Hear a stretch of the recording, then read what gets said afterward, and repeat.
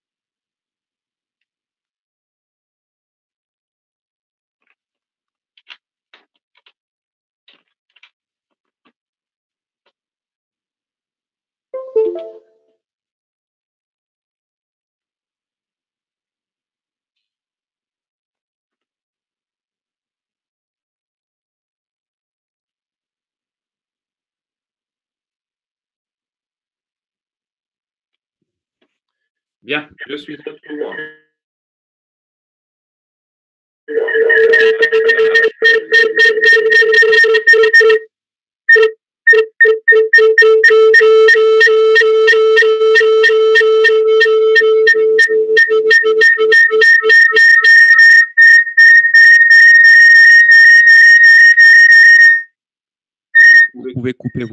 S'il vous plaît.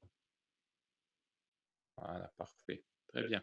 Alors, je fais un petit partage euh, du PowerPoint. Théoriquement, il devrait être quelque part. Euh, de réunion moléculaire corrigée, oui, pourquoi pas. Celui-là pas mal. Copier. Bien.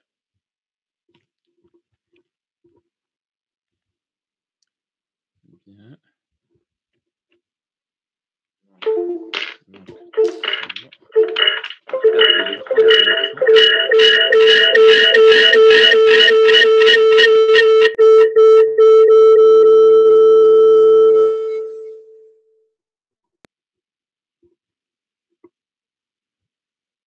Il y a un petit effet Larsen.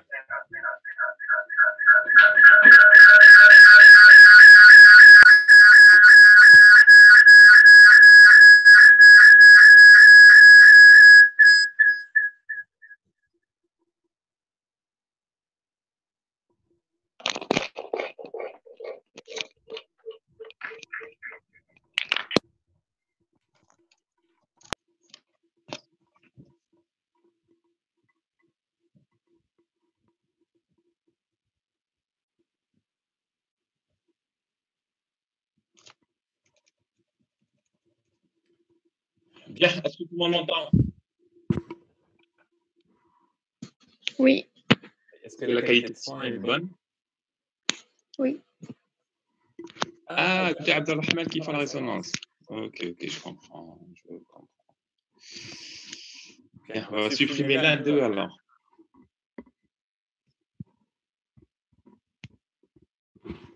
Alors, est-ce que c'est mieux là Oui. Ah, bah, parfait. parfait. Ensuite, je me suis connecté de mon portable, en- enfin de mon téléphone, ensuite je me suis connecté du- de mon portable. Donc, c'est bien ça. Bien. Alors, on va essayer de partager. Nouveau partage.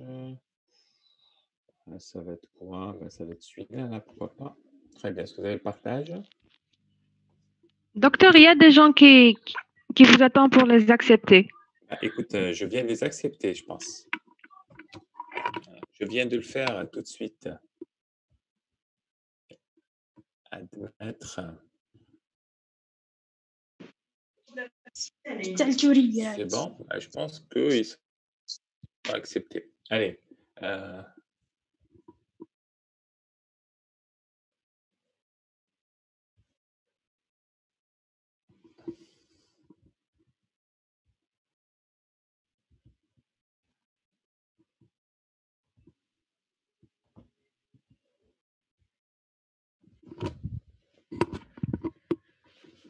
Mon stylo.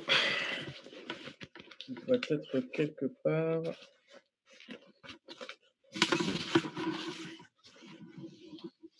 Ici.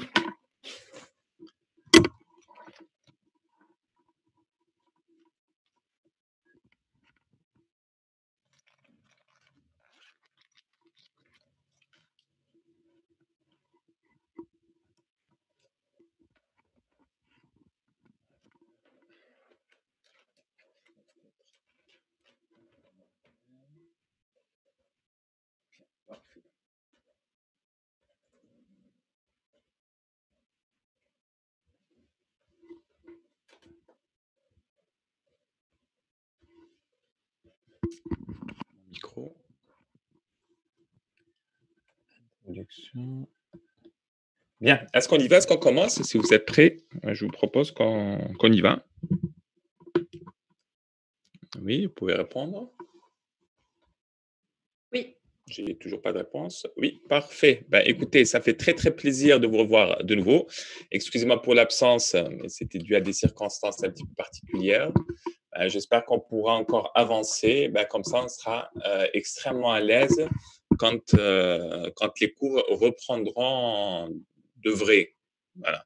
Apparemment, ça va reprendre le 15, le 15 août, le 16 août, en tout cas la deuxième moitié du mois d'août. Oui, le 16. Oui. Très bien, parfait. Alors, est-ce que vous savez quelle organisation il va y avoir? On aura Non, combien de temps? encore.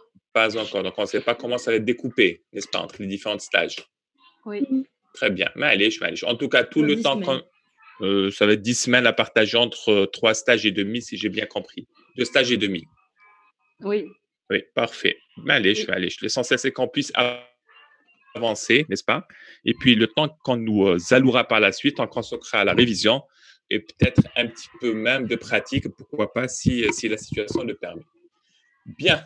Alors, je propose qu'on y va tout de suite.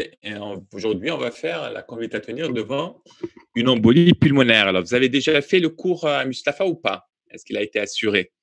Et d'habitude, c'était professeur Bouhouita qui l'assure. Qui l'assure. Est-ce qu'il a fait cette fois-ci? Non. Non, le cours n'a pas été assuré, donc vous n'avez pas de notion de- d'embolie pulmonaire ou d'autre chose, n'est-ce pas? Non. Allez, très bien. Bon, c'est un cours qui est un petit peu assez long, euh, donc on va le partager en deux parties, voire un petit peu plus. On va aller doucement et puis euh, on s'arrêtera voilà, quand vous serez fatigué. Bien. On va commencer par définir ce que c'est que l'embolie pulmonaire. hein, ça serait un bon début, n'est-ce pas? Et euh, la définition est assez simple et on peut dire que l'embolie pulmonaire est une obstruction de l'artère pulmonaire ou l'une de ses branches par un embole dans la majorité des cas est de nature fibrino-cryurique. Bien, alors plusieurs euh, questions déjà surgissent de cette définition. La première, ben, c'est quoi un em- embole finalement? Mhm. Oui, qui peut me répondre à cela? C'est quoi un embol Qui peut me définir un embol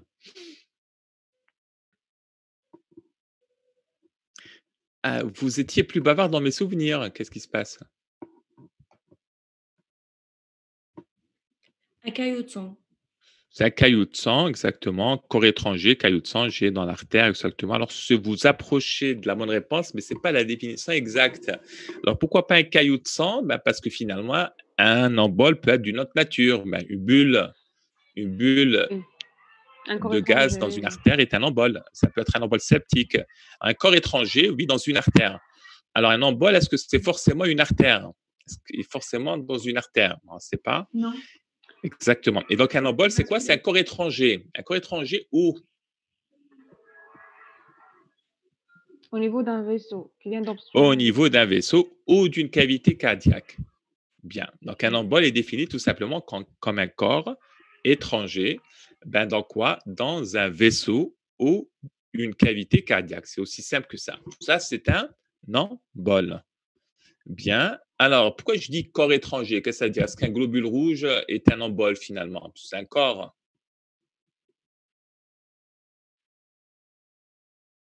Non, il n'est pas étranger. Ben, il n'est pas étranger. Exactement. C'est-à-dire qu'est-ce que j'entends par corps étranger C'est euh, quelque chose qui n'est pas censé se trouver à l'intérieur du vaisseau. Voilà. C'est-à-dire en dehors ben, des composantes normales du sang à l'intérieur. Bien. Donc, corps étranger dans un vaisseau ou euh, dans, un, dans une cavité cardiaque. Et si j'ai ça, c'est-à-dire quoi? C'est-à-dire que finalement, ben, le flux sanguin, puisqu'à l'intérieur d'un vaisseau, il y a toujours un flux sanguin, et ben, cet embol va voyager emporté par le flux. Jusque-là, on est d'accord. Qu'est-ce qui va se passer s'il voyage, hein, s'il est véhiculé par le flux sanguin? Qu'est-ce qui va se passer tôt ou tard? Migration. Il va être bloqué à un niveau. Exactement. Donc, migration, il va migrer suite au flux sanguin, mais tôt ou tard, il va s'enclaver. Mm. Alors, pourquoi il va s'enclaver finalement? Puisque jusque-là, ça se passait bien, il voyageait, à votre avis? Le calibre de l'artère est Exactement, plus- parce que le diamètre du vaisseau n'est plus assez grand pour lui céder passage. Et quand le diamètre du vaisseau rétrécit de telle sorte que l'embol est trop gros, ben, celui-là va s'enclaver, il va boucher le vaisseau. C'est ce qu'on appelle un embol. Bien. Donc, on va euh, un petit peu euh, étoffer notre définition. On va dire que l'embol est un corps étranger dans un vaisseau. Alors, je précise pas, ça peut être une veine, une artère ou autre. hein. Enfin, une veine ou une artère ou une cavité cardiaque. Dans un vaisseau qui est emmené par le flux sanguin jusqu'à ce que celui-là, cet embol, s'enclave parce que le diamètre du vaisseau n'est plus assez grand pour lui céder passage. Bien. Donc, j'ai dit vaisseau, c'est-à-dire que ça peut être une veine, une artère. Et donc, est-ce qu'une embolie peut être artérielle?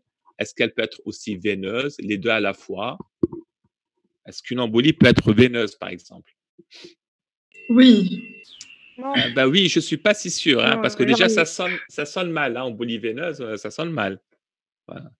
Hein, Est-ce qu'une embolie peut être veineuse? Et si c'est non, ben, la réponse est non, oui. mais pourquoi? on parle Le de thrombose, veineuse. Oui, mais une thrombose veineuse, c'est une embolie? Eh bien, la réponse, c'est non. Alors, pourquoi non? Pour une simple raison, c'est quand vous suivez, alors là, je vais partager un tableau blanc, nouveau partage, bien, très bien. Quand vous suivez le, le sens du flux, et le sens du flux, c'est le sens de la migration de l'embole, n'est-ce pas? Quand je suis ce, ce sens, l'artère, elle fait quoi? Elle se bifurque, n'est-ce pas? Et en se bifurquant, son diamètre se réduit. Et quand son diamètre se réduit, eh bien, l'embole va s'enclaver parce que le vaisseau n'est plus assez grand. Si maintenant je suis le flux du sang dans une veine, qu'est-ce qui se passe? Ben, La Le veine ne se euh, bifurque pas. Voilà, exactement. La veine reçoit des confluents et son diamètre augmente jusqu'à aboutir à la veine cave Inférieur, supérieur, supérieur. inférieur, ensuite des cavités cardiaques droites. Bien. Et donc, un embole ne peut jamais s'enclaver dans une veine. C'est pour ça que, ben quoi, l'embolie est toujours artérielle. D'accord? Bien. Donc, l'embolie est toujours artérielle parce que c'est l'artère qui réduit son diamètre et c'est à ce niveau que va s'enclaver l'embole. Mais est-ce que l'embolie euh, euh, artérielle est d'un seul type ou de deux types? Deux types. Ah, c'est deux types, exactement. Donc, je peux avoir une embolie artérielle systémique Pulmonaire ou systémique? ou pulmonaire, exactement. Donc, quand je parle d'embolie euh, pulmonaire, je parle en fait de quoi? D'une embolie artérielle pulmonaire. Bien. Très bien. Donc, une embolie artérielle systémique, c'est celle qui me bouche l'aorte, une collatérale de l'aorte. Alors qu'une embolie artérielle systémique, c'est celle qui me bouche l'artère pulmonaire ou l'une de ses collatérales. Est-ce qu'on est d'accord sur ça? Non. Non, on n'est pas d'accord. on va essayer de se mettre d'accord alors. Bien. Donc finalement, on avait dit que l'embolie est euh, toujours artérielle. Est-ce qu'on a compris ça? Qu'une embolie ne peut pas être veineuse parce que la veine Oui. augmente son diamètre. Bien. Maintenant, tu as combien de types d'artères finalement? Deux.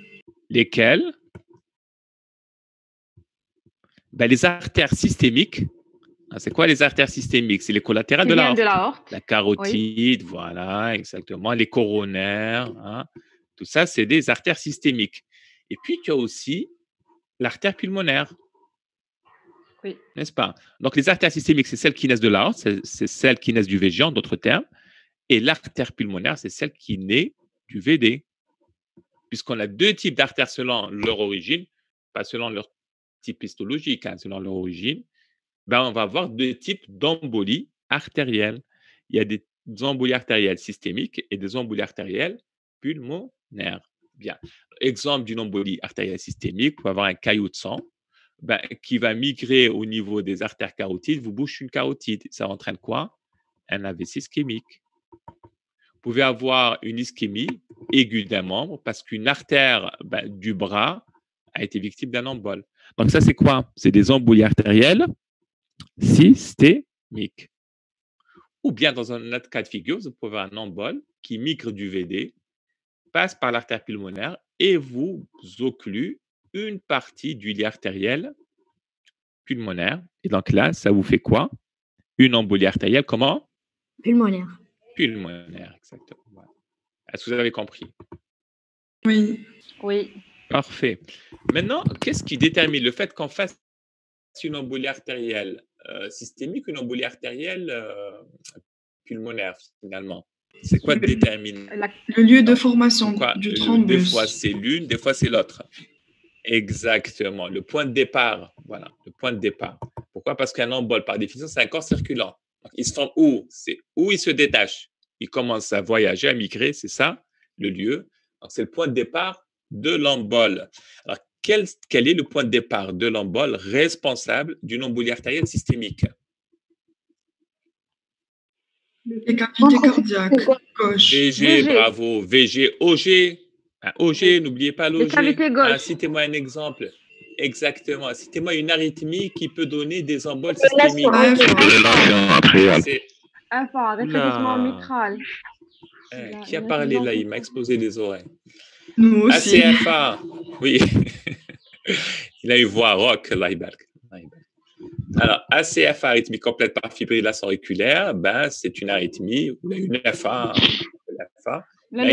Mitrale. Ah, très bien, oui, mais bon, moi, je parle, je parle du point de départ. Le point de départ, ça va être quoi? Ça va être l'oreillette gauche, exactement, même le RM. Thrombus au niveau de l'auricule qui Oui. migre, qui entraîne une embolie systémique. Donc, le point de départ, c'est l'oreillette gauche. En l'occurrence, c'est une cavité cardiaque gauche. Ça peut être le VG, un thrombus intra-VG suite à un infarctus, par exemple. N'est-ce pas? Qui migre. Bien. Ça peut être aussi un point plus en amont de l'artère. Alors, imaginons que vous avez une plaque d'athérome au niveau de l'aorte il peut y avoir rupture de plaque d'athérome, formation d'un thrombus collé à la paroi aortique qui peut migrer hein, vers la carotide et entraîner un AVC. Dans les salles qu'on a aiguës, on avait vu qu'une plaque d'athérome qui se rompt forme un thrombus, peut y avoir une embolisation distale. Bien. Donc, le point de départ des emboles artérielles systémiques, c'est quoi? Ben, C'est ou bien les cavités cardiaques gauches, ou bien quoi?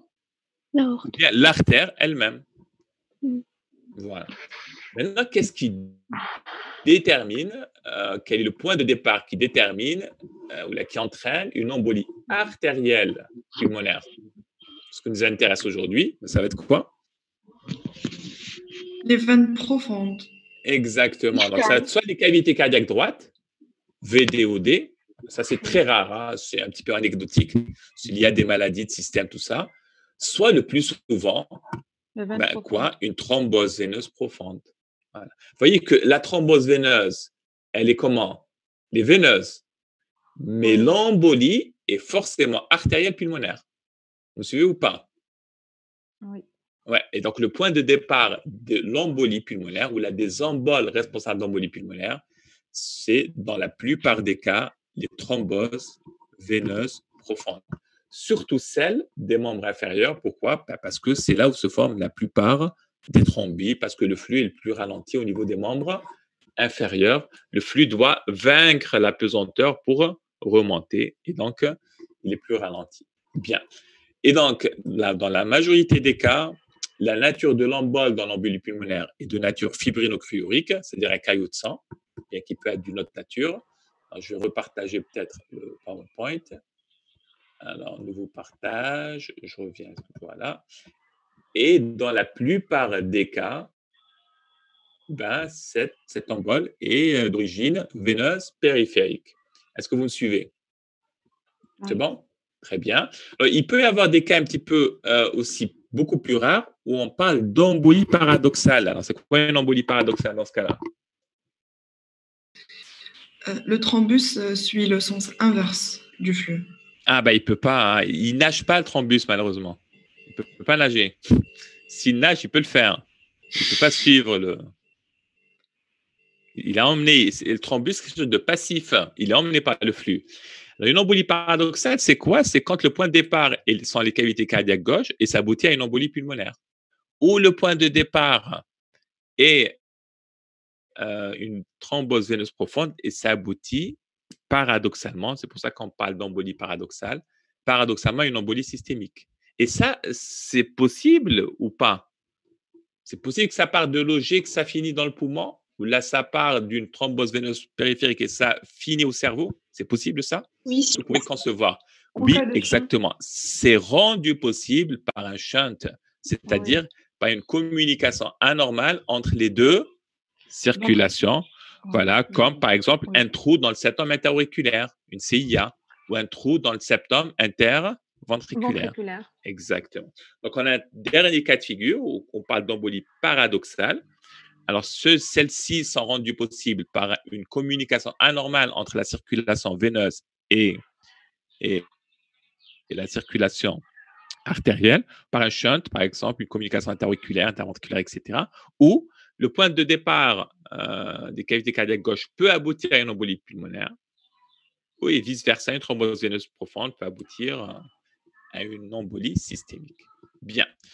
Très bien. Mais bon, ça reste une exception, ça reste rare, assez rare. Et dans la plupart des cas, l'origine de l'embolie artérielle pulmonaire, pour revenir à elle, parce que c'est celle qui nous intéresse aujourd'hui, ben, le point de départ, ça va être quoi? Une thrombose veineuse profonde.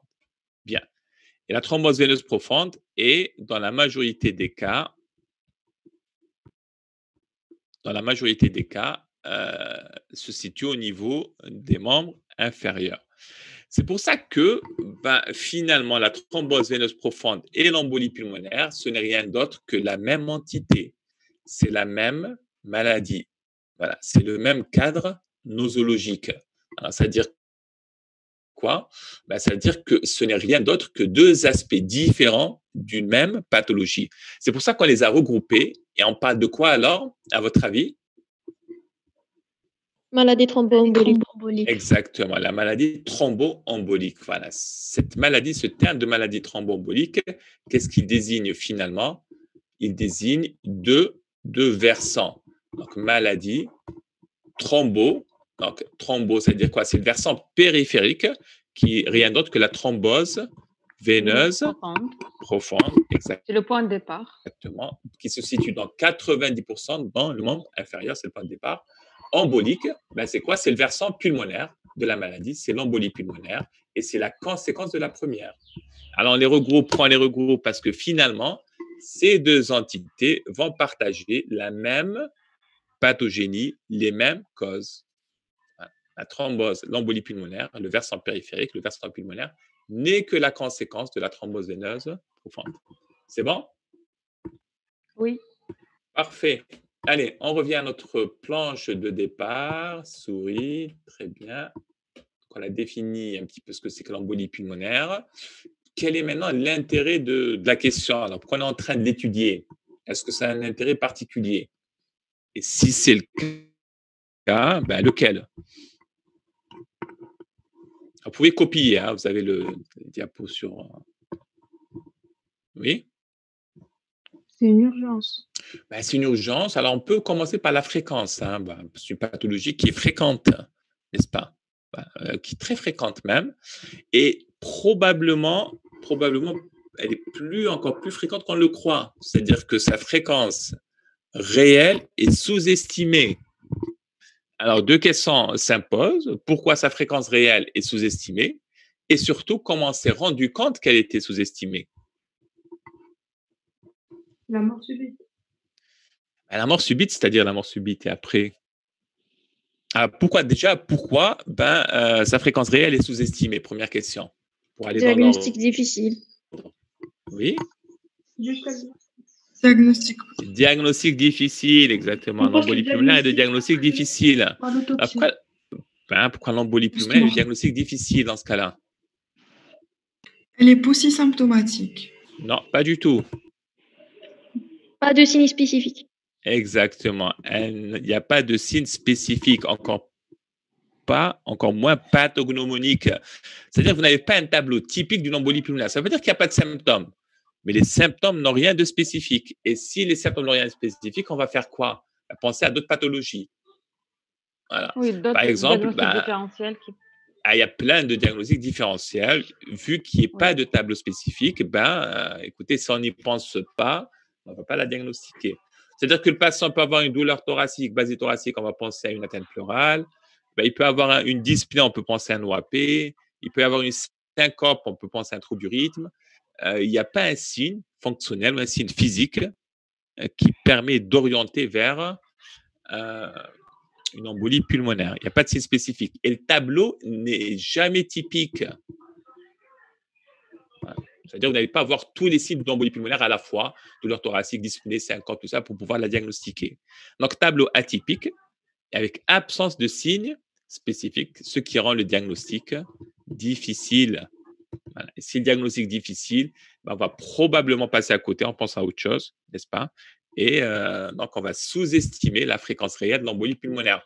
Mais comment on a su qu'elle était finalement plus fréquente qu'on le croyait ben, j'ai eu la réponse déjà dans, le, dans la discussion. Ben, c'est grâce aux séries autopsiques.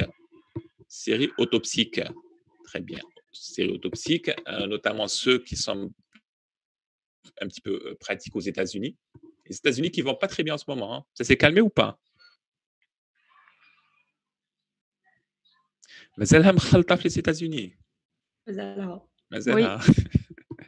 Eh ben, on va mettre là, je Bien. Donc, euh, les États-Unis, qu'est-ce qu'on fait? On fait des séries autopsiques, c'est-à-dire que quand il y a des morts subites comme ça, inexpliquées ou pas, ben, on, pratique une autopsie, ben, déjà pour savoir la cause de la mort et même pour un petit peu faire avancer la science. On s'est rendu compte de deux choses, non pas une, mais de deux choses. Premièrement, plein de causes inconnues, par exemple des morts subites, étaient finalement dues à des embolies pulmonaires. Donc, ceux-là, on ne les comptait pas finalement. Et deuxièmement, surtout, plein d'autres maladies, plein d'autres décès attribués à d'autres causes étaient en réalité liés à une embolie pulmonaire. Alors, ça veut dire quoi? C'est-à-dire que je peux avoir un patient qui a un cancer, un cancer un petit peu évolué. Voilà, du jour au lendemain, il meurt. Alors, vous allez dire quoi? Il est mort de quoi finalement? Ça veut dire qu'il est cancer. Voilà, exactement, de sa pathologie, un cancer, ça c'est grave, donc il est mort de ça. Ben, on fait une autopsie, on remarque que finalement, ce qu'il a achevé, c'est une embolie pulmonaire. Ben, pourquoi? Parce que le cancer n'est que la cause finalement. Et le cancer était un facteur de risque thromboembolique. Bien. D'autres, une autre situation, une insuffisance cardiaque, une insuffisance cardiaque gauche. Le patient est agité, il est dyspnéique, euh, l'alitement est un facteur de risque. Il va faire une embolie pulmonaire aggraver sa dyspnée. On croit que c'est son essence cardiaque qui va l'achever. ben, quand ils meurent, ben, ils ont fait des autopsies à des patients à naissance cardiaque. On s'est rendu compte que finalement, l'embolie pulmonaire les a achevés. Vous voyez? Donc, non seulement des morts subites de cause inconnue étaient attribuables à une embolie pulmonaire, mais pire encore, d'autres diagnostics, d'autres causes de décès hein, étaient erronés et finalement, la cause était l'embolie pulmonaire. Ben, c'est pour ça que finalement, on a pu un petit peu apprécier la fréquence réelle hein, de l'embolie pulmonaire qu'on a grandement sous-estimée, si bien que maintenant, elle est considérée comme la troisième cause de mortalité cardiovasculaire dans les pays européens. La troisième cause, c'est énorme. Hein. Après quoi, à votre avis, qui est la, première cause des, morts cardiovasculaires? Les sidéens. Euh, les sidéens, c'est quoi les sidéens? Sida Non, idéen. C'est pas les sidéens. Donc, les qu'on a aigus, exactement, c'est la première cause. Et la deuxième cause, ça va être quoi? Les AVC. Les AVC, exactement. AVC. ça, c'est les, les, deux causes indétrônables, pratiquement parts égales. Hein, dans les maladies, dans la mortalité cardiovasculaire. Et la troisième cause de mortalité cardiovasculaire, ce n'est rien d'autre que l'embolie pulmonaire. Vous comprenez un petit peu sa fréquence élevée. Bien, deuxième intérêt, ben, c'est sa gravité, bien sûr, parce que c'est une pathologie grave, c'est une urgence médicale, une urgence médicale ben, qui compromet le pronostic vital. On meurt d'une embolie pulmonaire, telle qu'on l'a expliqué tout à l'heure. Bien. Donc, c'est une pathologie grave. en médecine, on n'a pas le droit de passer à côté de pathologies graves. Alors, troisième intérêt qui renforce un petit peu le numéro 3 va renforcer le numéro 2. Et le numéro 3, c'est quoi? C'est ben, l'existence de traitements efficaces. Pourquoi ça renforce l'importance du numéro 2, à votre avis?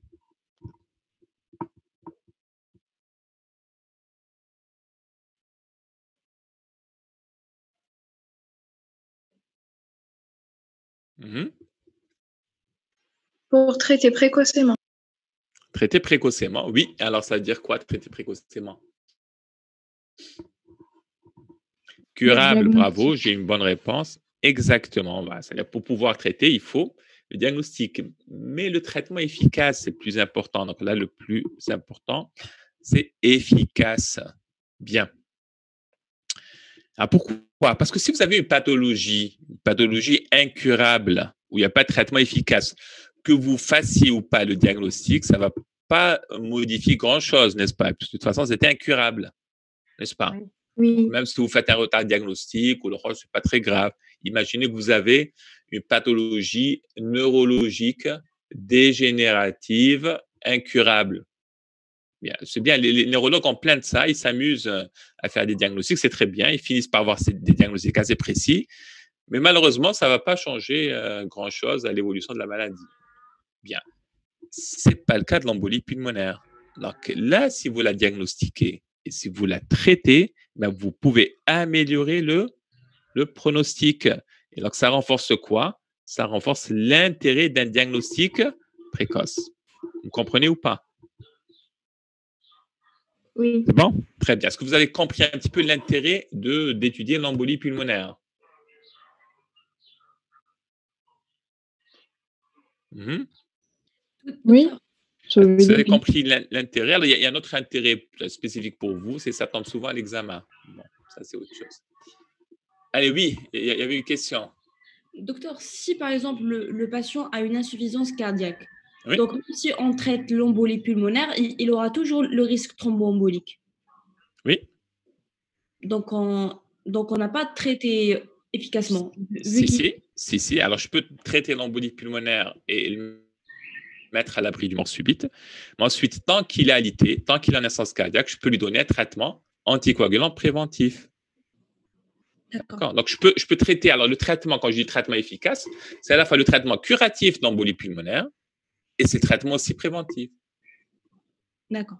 D'accord Voilà, traitement préventif que je vais mettre ou bien dans une situation à risque, ou bien même après une embolie pulmonaire que j'ai diagnostiquée, parce que le facteur de risque est toujours là, les causes sont toujours là.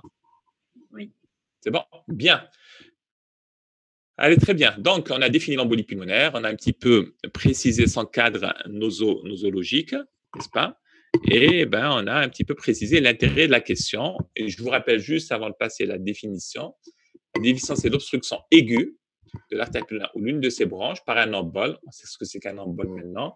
Dans la nature et dans 90% des cas fibrinochirurgiques, mais pas que, ça peut être plus rarement d'une autre nature, septique, gazeuse, néoplasique, etc., infectieuse, comme une végétation par exemple. Et dans le point de départ, dans 90% des cas, est une thrombose veineuse profonde des membres inférieurs. Bien. Donc, dans cette définition qu'on vient de relire, euh, quel est l'élément qui vous paraît le plus important? Quel est le mot Si vous devez retenir qu'un seul mot, ça va être quoi? Aigu. Alors, pourquoi c'est? Pourquoi c'est important aigu? Pourquoi c'est important pour... Euh, ça, change euh, la symptomatologie. Euh, le pronostic. ça, change le pronostic. Ça change la symptomatologie, c'est pas le plus important. Mhm. Risque de décompensation rapide. Hmm, pourquoi il y a un risque de décompensation rapide? Et pourquoi c'est urgent? Mal toléré. Voilà, bravo, on se rapproche. Mais pourquoi c'est mal toléré? Je vois parce que c'est aigu. Hein. Pourquoi, quand c'est aigu, c'est mal toléré? Pas d'adaptation. Pas d'adaptation, exactement. Bravo, bravo, bravo. Et donc, quand vous avez une pathologie cardiovasculaire, quelle que soit, ça, ça vous provoque des désordres hémodynamiques. Par exemple, NRM vous provoque quoi? Un gradient de pression entre OG, VG, augmentation de la pression intra-OG, euh, OAP, etc. Ça, c'est des désordres hémodynamiques. Donc, toute pathologie cardiovasculaire est susceptible de vous donner des désordres hémodynamiques. Mais là, vous avez deux cas de figure. Soit c'est une pathologie chronique. Là, qu'est-ce qu'il va y avoir? Des mécanismes d'adaptation pour corriger ces désordres. Et si les mécanismes, alors pas corriger, non, j'utilise un mot plus précis, compenser ces désordres. Et si ces désordres hémodynamiques sont compensés, ben, la pathologie va être plus ou moins bien tolérée. Alors, on, a cité l'exemple de la fuite mitrale, si vous vous rappelez. On avait dit que l'oreillette gauche va se dilater pour éviter que les pressions augmentent au niveau de l'artère, euh, enfin de, la circulation pulmonaire. Le VG se dilate pour assurer le même débit entérograde. Ça, c'est quoi ça, à votre avis? C'est des mécanismes de compensation. C'est pour ça qu'une IM chronique ben, est bien tolérée sur le plan hémodynamique. Est-ce qu'une IM aiguë est susceptible d'être bien tolérée? Pas du tout. Alors pourquoi pas du tout? Parce que c'est tellement brutal que ça ne laisse pas, le temps, au cœur de s'adapter. Et donc, pas de mécanisme de compensation. Alors, est-ce que vous croyez que l'embolie pulmonaire, c'est une pathologie qui va être bien tolérée ou mal tolérée? Ben, Elle risque d'être d'emblée mal tolérée parce que elle est quoi? Aiguë. Aiguë, exactement. Et donc, si elle est aiguë, elle ne laisse pas le temps à des mécanismes de compensation hémodynamique de se mettre en marche et de compenser les conséquences de l'embolie pulmonaire. Et donc, c'est une pathologie qui risque d'être d'emblée mal tolérée, voire d'emblée mortelle. C'est bon? On va voir que ce caractère aigu extrêmement important, il va revenir à plusieurs fois euh, au cours euh, de la description de la maladie. Bien. Alors, si ça étant dit, on va passer à la partie suivante, parce qu'il faut qu'on avance. Bien. Donc, étiologie de l'embolie pulmonaire. Donc, dans 90%, on avait dit que c'était une thrombose veineuse profonde. Et dans 90% des cas, cette thrombose veineuse profonde est située au niveau des membres inférieurs. Mais expliquez-moi une chose, pourquoi on a du sang qui coagule à l'intérieur d'une veine des membres inférieurs? Pourquoi on fait une thrombose veineuse profonde? Stase sanguine. Stase. Stase, très bien. Quoi d'autre? C'est tout? A de Virchow, exactement. Donc, trois mécanismes peuvent être impliqués euh, dans la formation d'une thrombose veineuse profonde. Et en plus, ces mécanismes peuvent s'associer entre eux. Hein. C'est-à-dire, je peux avoir deux, voire trois mécanismes en même temps, qui travaillent en même temps. Et ces mécanismes ont été écrit par Virchow sous forme de la triade de Virchow, trop célèbre, hein, que vous connaissez maintenant trop bien. Et cette triade de Virchow euh, vous explique le mécanisme par lequel une cause peut vous donner une thrombose veineuse profonde. Alors ça, ce n'est pas des étiologies, on est d'accord? Hmm? Oui, c'est des de la. Exactement, c'est les mécanismes par lesquels ben, vont agir un petit peu les étiologies. Bien. La première, on va peut-être commencer par la stase, parce que c'est la principale principal en fait. Hein, Vous savez très bien que le sang qui a tendance à stagner quand le flux est ralenti, voire complètement immobile, ben, quand le sang n'est plus, quand on met du sang comme ça, euh, quand il n'est plus en mouvement, ben, il a une fâcheuse tendance à coaguler. Alors pourquoi la stase favorise les thrombus, les thromboses? Ça augmente la concentration des facteurs de coagulation. Ah, ça n'augmente pas la concentration, la concentration reste Contact la même? avec l'endothélium, les plaquettes. Oui, très bien, exactement. Ah, c'est que ça va mettre en contact plus étroit, premièrement, les facteurs de coagulation entre eux, n'est-ce pas? Et puis, euh, les éléments figurés comme les plaquettes, les globules rouges, etc. Bien. Et donc, le flux sanguin est très important pour l'hémostase, pour la fluidité du sang. Pourquoi? Parce que le flux est en train de disparaître patcher, de séparer en permanence, de touiller en permanence ces facteurs de coagulation et les aimants figurés comme les plaquettes. Et quand euh, il y a une stase, ralentissement de ce flux, ces facteurs-là se trouvent l'un côté de l'autre, les plaquettes également, et ça peut déclencher la cascade de coagulation. Voilà. ce mécanisme n'est pas spécifique aux thromboses veineuses profondes. Hein. On peut l'avoir aussi dans la CFA, par exemple, la fibrillation auriculaire. Ou pourquoi vous avez un thrombus qui se forme dans l'auricule gauche? Ben, c'est à cause de la stase. Stase est liée dans ce cas à une perte de la systole mécanique auriculaire, par exemple. Donc, stase sanguine, c'est l'élément peut-être le plus important de la triade. Alors, deuxième élément, ça va être l'état d'hypercoagulabilité.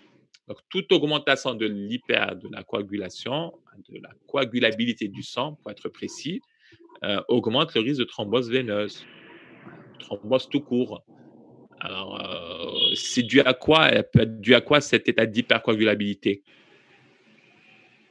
Par exemple, à l'augmentation des facteurs de coagulation. Des facteurs de coagulation. Voilà, exactement. Ou l'augmentation de taux plaquettes, hein, une hyperplaquettose.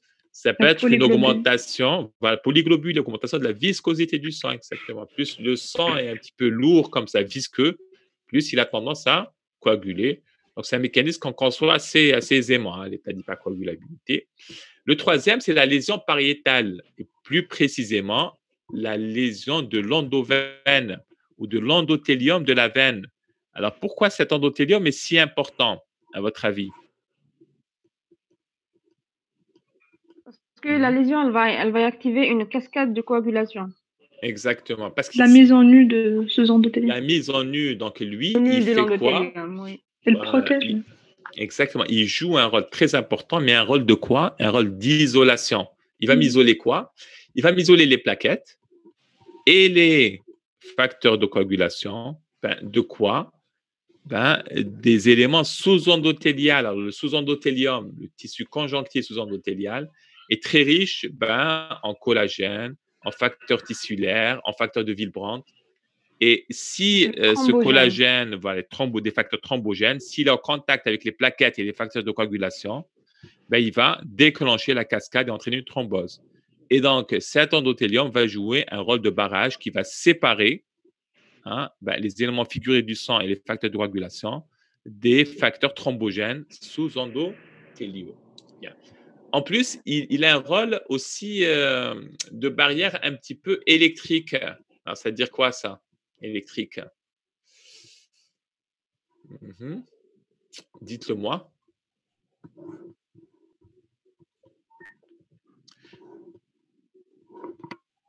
Il a la même charge négative euh, comme celle des plaquettes, donc, donc il ne peut pas s'agréger.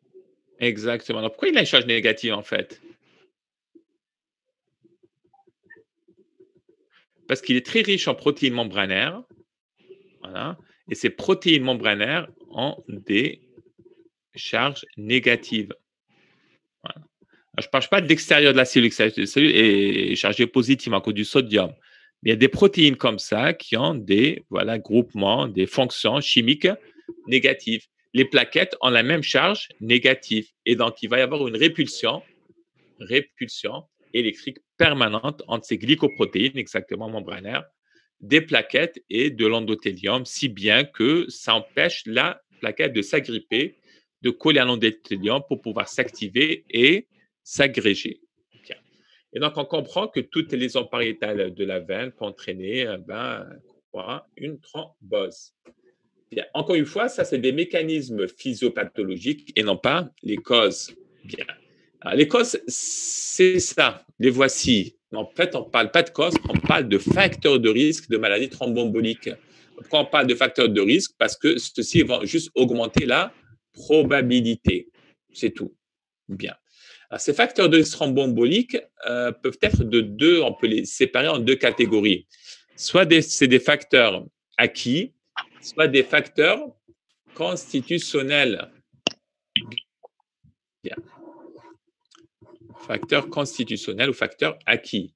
Alors, euh, les facteurs acquis euh, sont ou bien réversibles ou bien irréversibles, alors que les facteurs constitutionnels sont génétiques. Voilà. Et ces facteurs-là sont, bien sûr, irréversibles. Alors, ceci va avoir une importance ou pas, à votre avis? Que le facteur soit réversible ou pas? Oui. Oui, très bien. Sur quoi précisément alors? Sur les facteurs. La correction des facteurs de risque. Euh, non. Est-ce qu'on traite, est qu'on traite de la même manière une embolie pulmonaire conséquente à un facteur réversible et une embolie pulmonaire conséquente à un facteur irréversible? Non. Oui, ah. la réponse est oui. On traite de la même manière, on ne traite pas avec la même durée.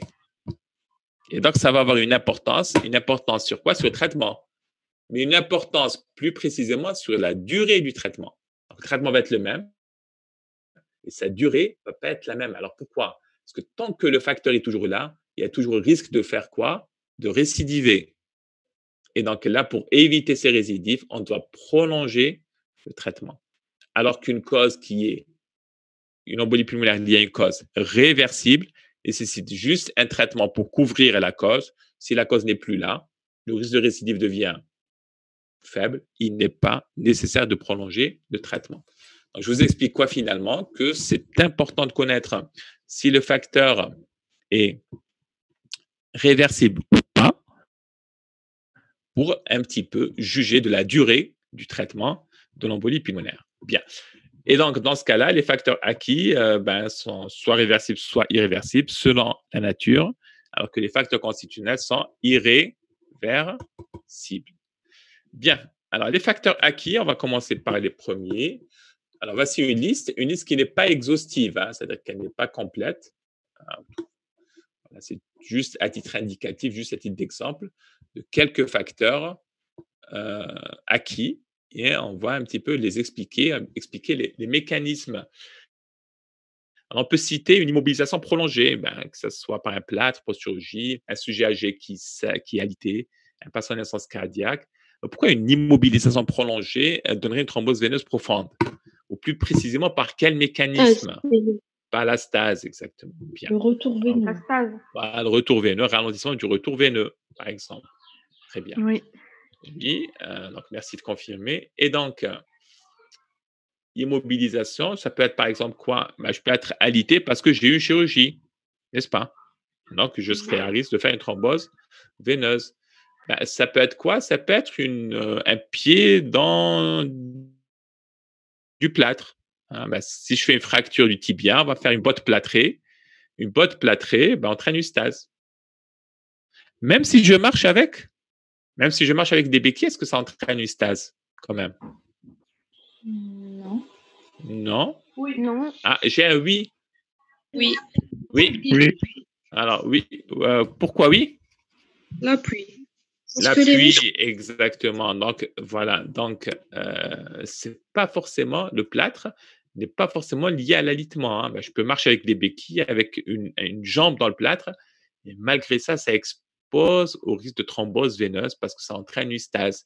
Alors pourquoi cela? Bah, Parce que sachez que les muscles jouent un rôle extrêmement important dans le retour veineux. En fait, les muscles agissent, bah, ceux des membres inférieurs, agissent comme une pompe. Et c'est grâce à la contraction musculaire bah, qu'il y a un retour veineux. Bien. Et donc, euh, je reprends mon stylo. Alors, pourquoi? Parce que si vous faites une coupe hein, dans une jambe, vous allez trouver quoi? Un os au centre, les vaisseaux, veines et artères, et entouré de quoi? De loges musculaires. Est-ce qu'on est d'accord? Ça, c'est une coupe du mollet, par exemple. Bien. Et donc, à chaque fois que vous euh, marchez, hein, vous allez contracter vos muscles du mollet, de la cuisse, etc. Bien. Et vous allez appuyer sur la plante du pied. Qu'est-ce qui se passe? Les veines hein, vont être écrasées par la contraction musculaire. La veine, à chaque mouvement, va être écrasée. Et comme la veine a des valvules à l'intérieur, qu'est-ce qui se passe? Quand elle est écrasée, elle va chasser son contenu. Les valvules empêchent que le sang retourne et donc il va partir dans un seul sens permis, c'est vers le haut. Donc à chaque fois qu'on comprime la veine, on chasse le sang vers le haut, c'est l'effet de la pompe musculaire. Et donc l'alitement n'est pas lié juste à la position horizontale, il est lié ben, à quoi? Au fait que le, les muscles des membres inférieurs ne se contractent plus et donc il n'y a plus cet effet de la pompe musculaire. Donc on comprend aisément qu'une botte plâtrée peut entraîner un risque de thrombose veineuse profonde, même si le patient marche avec des béquilles parce qu'il ne sollicite pas les muscles de sa jambe plâtrée. Est-ce que vous avez compris? Oui. Oui, parfait. Très bien. Euh, alors là, c'est un petit peu des causes euh, qui peuvent être réversibles ou irréversibles. Hein. Une botte plâtrée, c'est réversible. Une chirurgie, c'est réversible. Une insuffisance cardiaque qui entraîne une stase, bah, ça peut être une cause euh, irréversible. Ça dépend le, degré.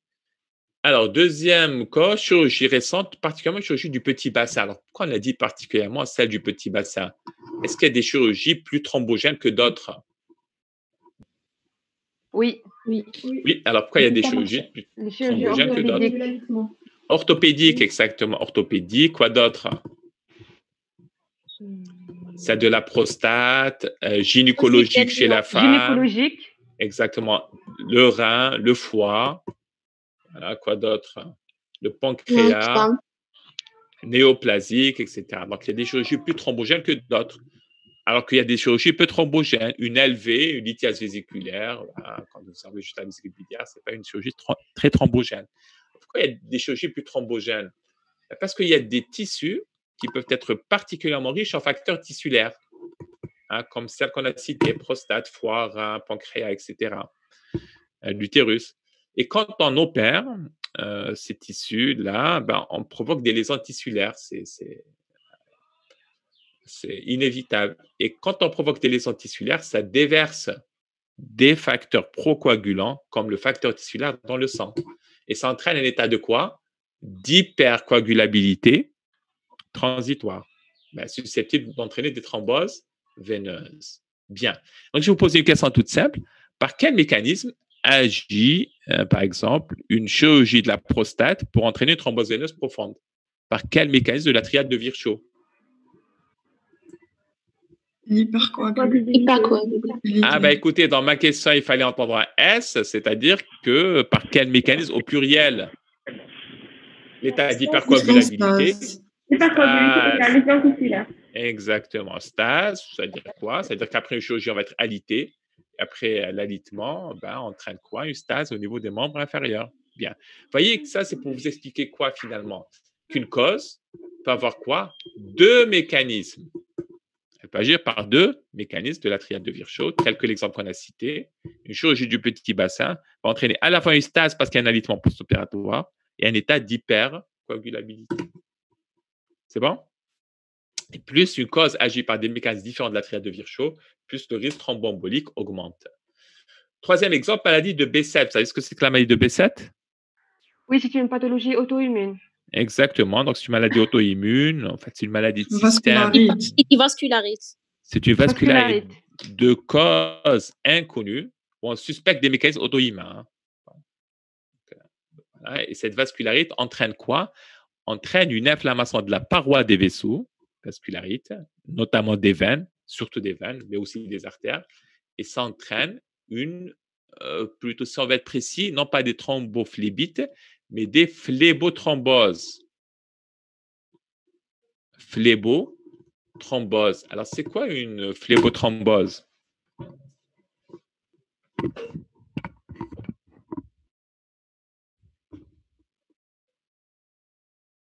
C'est quoi la différence entre une thrombophlébite et une phlébothrombose Une thrombophlébite, c'est une thrombose où se, vient une inflammation qui va s'installer sur le thrombus. Et le contraire, un phlébothrombose, c'est le contraire. C'est l'inflammation qui, qui provoque l'installation d'un thrombus, Très bien. C'est, Oui, pourquoi tu rigoles? Mais c'est juste, c'est juste ta réponse est tout à fait juste. Mais explique-moi alors pourquoi une inflammation entraîne une thrombose Par quel mécanisme? Euh, Puisque quand il y a euh, une inflammation, ça veut dire lésion une pariétale. Euh, euh, de coagulation. Lésion pariétale, tout simplement. Lésion pariétale de la veine. Effectivement, votre, votre camarade a une, bonne, une très bonne réponse. Et je vais juste refaire sa réponse, parce que je ne peux pas l'améliorer, elle est très bien. Un nouveau partage, tableau blanc. Bien. Donc, quand vous avez une, euh, une thrombose quelque part, voilà, thrombose ici, par exemple. La thrombose, c'est du sang coagulé, n'est-ce pas? Ah, C'est un thrombus. Et cette thrombose est vécue comme un corps étranger. Il y, a, même, il va y avoir une agression, une agression même mécanique de la paroi de la, veine. Ça entraîne quoi? Une réaction inflammatoire à un corps étranger. Ça entraîne quoi? Une thrombophlébite. D'accord? Donc, une thrombose au niveau d'une veine s'accompagne forcément de mécanismes inflammatoires parce que c'est un corps étranger. Ça entraîne une thrombophlébite. Une thrombophlébite qui va être néfaste par la suite hein, parce que l'inflammation entraîne quoi? Finalement à la fin Une cicatrisation. Une cicatrisation par quoi? Par formation de la fibrose. Et ça entraîne une fibrose des veines, des valvules, avec une conséquence irréversible qui est la maladie post-phlébétique. C'est-à-dire que ça peut vous dégrader, vous abîmer définitivement la veine. Ça, c'est une thrombophlébite. Dans la maladie de B7, le mécanisme peut être différent. C'est que vous avez une vascularite, une inflammation primaire de la veine hein, liée à la maladie de B7, la vascularite. Donc, on parle de quoi? D'une phlébite d'abord. C'est la phlébite qui vient en premier. La phlébite vous, vous, entraîne quoi? Une lésion pariétale, puisque l'endothélium est abîmé, inflammé. Cette inflammation de l'endothélium entraîne, favorise la thrombose. Donc, c'est la phlébite qui était là la première et qui entraîne quoi finalement? Thrombose. C'est pour ça que certains auteurs différencient entre thrombophlébite, thrombose, la première phlébite qui est la conséquence, et la phlébothrombose thrombose, ben, c'est la phlébite qui est la première et la thrombose est la conséquence. Bien, est-ce que vous avez compris ça? Oui, c'est la phlébite qui entraîne la thrombose dans la maladie B7. Hein, c'est un cas particulier, hein, pas dans les thrombophlébite, d'autres mécanismes. Est-ce que c'est bon?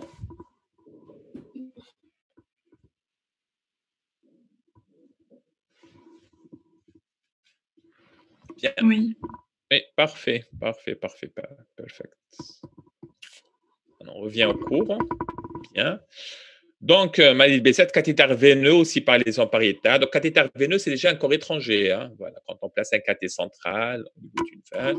En plus, quand on place un cathé central, hein, qui est un corps étranger, qu'est-ce qu'on peut, en l'introduisant, on peut racler un petit peu la paroi de la veine. On peut l'abîmer, on peut l'agresser avec le cathé, ce qui entraîne une lésion pariétale une grossesse. Hein, une grossesse, euh, c'est une cause réversible ou irréversible, la grossesse? Irréversible. Réversible. Réversible. réversible. Ah, on ne serait pas là.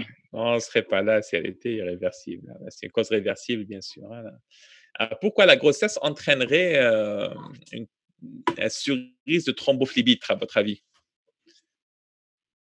Compression. Pression, exactement. Pression sur quoi? Sur euh, le retour veineux, surtout. Ben, sur le retour veineux, c'est la compression un petit peu de la veine cave inférieure par l'utérus gravide.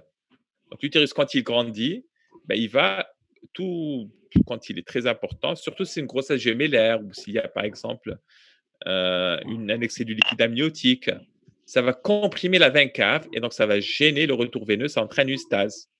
C'est pour ça que la femme enceinte, euh, on lui demande quoi? On lui demande euh, de toujours s'allonger le plus longtemps possible sur son côté gauche, en décubitus latéral gauche, pour éviter cette compression de l'utérus de la veine cave. Ben, la femme peut, être, peut faire une menace d'accouchement prématuré. On lui impose un repos strict pour calmer l'utérus. Et le repos strict au lit entraîne aussi une stase. Vous me suivez ou pas? Oui. Ouais. Et il, peut y avoir un deuxième mécanisme qui est un état d'hypercoagulabilité. Alors, d'hypercoagulabilité lié à quoi? À l'augmentation de quoi? La progestérone.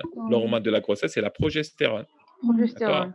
Exactement. Cette progestérone entraîne quoi? Augmentation de la synthèse des facteurs de coagulation.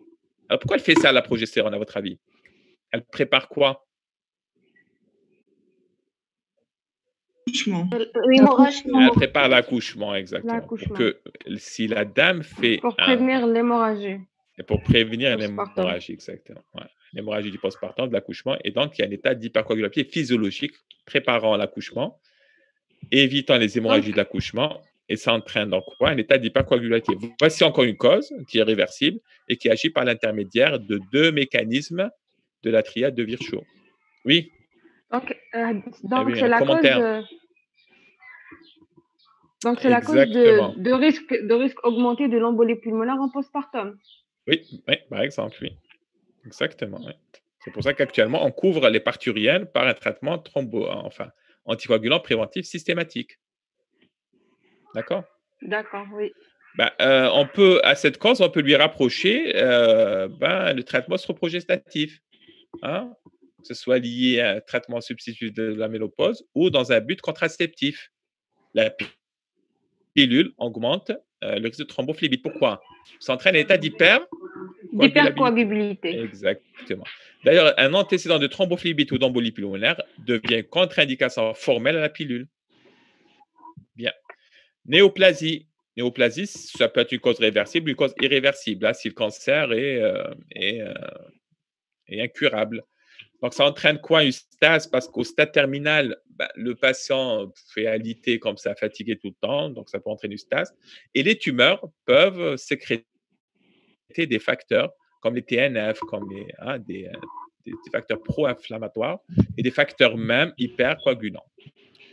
Donc, voici quelques exemples, mais la liste n'est pas, pas exhaustive. Hein. C'est juste pour vous donner quelques exemples, pour expliquer un petit peu leur mécanisme. Les facteurs maintenant acquis les facteurs constitutionnels, excusez-moi, sont tout le temps, faut que je réussisse à passer la diapo. Bien, les facteurs constitutionnels sont tout le temps irréversibles. pourquoi ça, Je vais juste couper les micros. Activez vos, micros si vous, si vous désirez parler. Hein. Mais tout.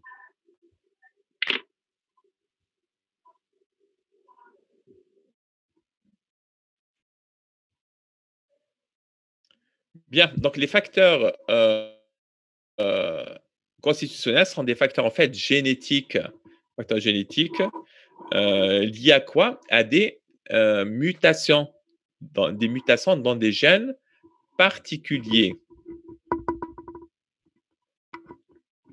Bien, alors ces gènes codent pour des protéines qu'on appelle les inhibiteurs de la coagulation. C'est quoi ces inhibiteurs de la coagulation? Savez que l'hémostase, c'est quoi l'hémostase? Comment on peut définir l'hémostase? Activez vos micros. Équilibre, équilibre en quoi C'est de maintenir la fluidité du sang. Ah, oui, ta définition est juste, mais incomplète.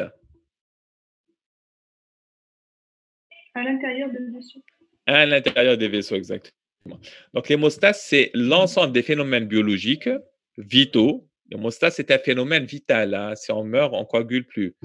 Donc, l'hémostase est l'ensemble des phénomènes euh, biologiques vitaux qui ont pour but de maintenir le sang fluide à l'intérieur du vaisseau.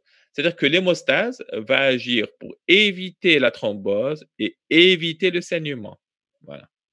Et on peut continuer la définition en disant et qui participe à l'arrêt d'un éventuel saignement ça, c'est l'hémostase. Et donc, il, doit y avoir un équilibre permanent entre la fluidité du sang hein, et sa coagulabilité. Donc, si un excès de fluidité, ça entraîne une hémorragie. Si un excès de coagulabilité, ça entraîne une thrombose. Et donc, le corps doit tenir en permanence cet équilibre. Et pour tenir, il dispose de facteurs de coagulation qui ont tendance à faire quoi? Coaguler le sang. Mais il dispose aussi d'autres facteurs qu'on appelle les inhibiteurs de la coagulation, dont le but est de réguler les premiers. Voilà. Donc, vous avez des facteurs de coagulation. Alors, il faut les facteurs de coagulation. Citez-moi des exemples. Je peux vous citer des exemples. Le 1, le 2, le 3. Vous voulez d'autres exemples? Le 5, le 6, le 7. Oui. Oui, c'est aussi simple que ça. Mais à côté de ces facteurs de coagulation, il y a d'autres facteurs qui régulent leur action pour maintenir cet équilibre. Et ces facteurs-là, on appelle les inhibiteurs de la coagulation. Et comme un déficit en facteur de coagulation lui-même entraîne quoi? Entraîne un risque hémorragique. Comme quoi? Comme l'hémophilie. L'hémophilie est une maladie hémorragique liée à quoi? Un défaut d'un facteur de coagulation qui est quoi? Le 7 8. Le 8 Le 8 ou le 9 8. 8, 9. 8 ou le 9 8, 9. Exact- Puisqu'on a la A et la B. Ah, c'est le 8 et le B, c'est le 9, c'est ça? Oui. Oui. logique, très bien. Comme un déficit en facteur de coagulation entraîne hémorragique, eh ben, un déficit en un inhibiteur de la coagulation entraînerait quoi? Un risque de Thrombose. D'hypercoagulabilité. Un état d'hypercoagulabilité, effectivement. Bon, les facteurs, on peut les citer. Ça peut être la protéine C. La protéine C qui inhibe quoi? Surtout le facteur 5. Et donc, quand le facteur 5 est activé, pour qu'il ne s'active pas trop, trop qu'il en faut, ben, la protéine C va essayer d'inhiber, de réguler sa fonction. Et si on a un déficit en protéine C, on va avoir un facteur 5 hyper actif, responsable d'un état d'hypercoagulabilité avec risque de thrombose. Ça peut être un, déficit en protéine S. La protéine S, c'est rien d'autre que le foca- cofacteur de la protéine C. C'est-à-dire que pour que la protéine C puisse agir correctement, il lui est nécessaire d'avoir un cofacteur et ce facteur s'appelle la protéine S. Donc, tout déficit en protéine C, c'est-à-dire quoi? Quantitatif, ou en protéine S, c'est-à-dire qualitatif, la protéine C, puisqu'elle est là mais elle n'est pas active à cause de l'absence de son cofacteur, entraîne un état d'hypercoagulabilité. Vous comprenez ce que je vous raconte ou pas? Parce que je vais un petit, peu- un petit peu vite. Ça reste clair? Ça reste clair, très bien. Ça peut être un déficit en antithrombine 3. L'antithrombine 3, ben, ça, ça, ça inhibe quoi? Le C'est 2, inhibiteur le, le 2, le 7, La le 9. thrombine. Ouais, c'est surtout le 2. Antithrombine 3. Ouais, surtout la thrombine qui est le facteur numéro 2. Ça peut être aussi un facteur 5 Leiden. Ah, c'est quoi facteur 5 Leiden? Ça veut dire quoi? C'est un nom bizarre.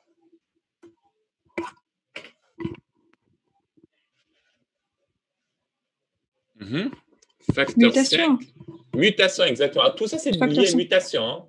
Tout ça, c'est lié à des mutations. D'accord Mutation. Changement de, du facteur 5. Il devient Oui, mais le facteur 5, le facteur 5 est un facteur de coagulation. Est résistant mutation- à son Il devient résistant à la protéine C. Mais est-ce qu'une mutation dans le facteur 5 peut entraîner un risque hémorragique? Puisque c'est un facteur de coagulation, comme, comme le ferait l'hémophilie. Est-ce que vous avez compris ma question? Mm. Oui, oui, euh, oui, euh, la voix rock, vas-y. Fais-toi la question, là, là, là. Oui. Alors, euh, c'est quoi ta réponse alors?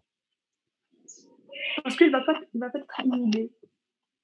Exactement. Ben, J'ai entendu qu'à moitié, mais je te laisse le bénéfice du doute et je vais dire que c'est une bonne réponse. Elle peut même être excellente.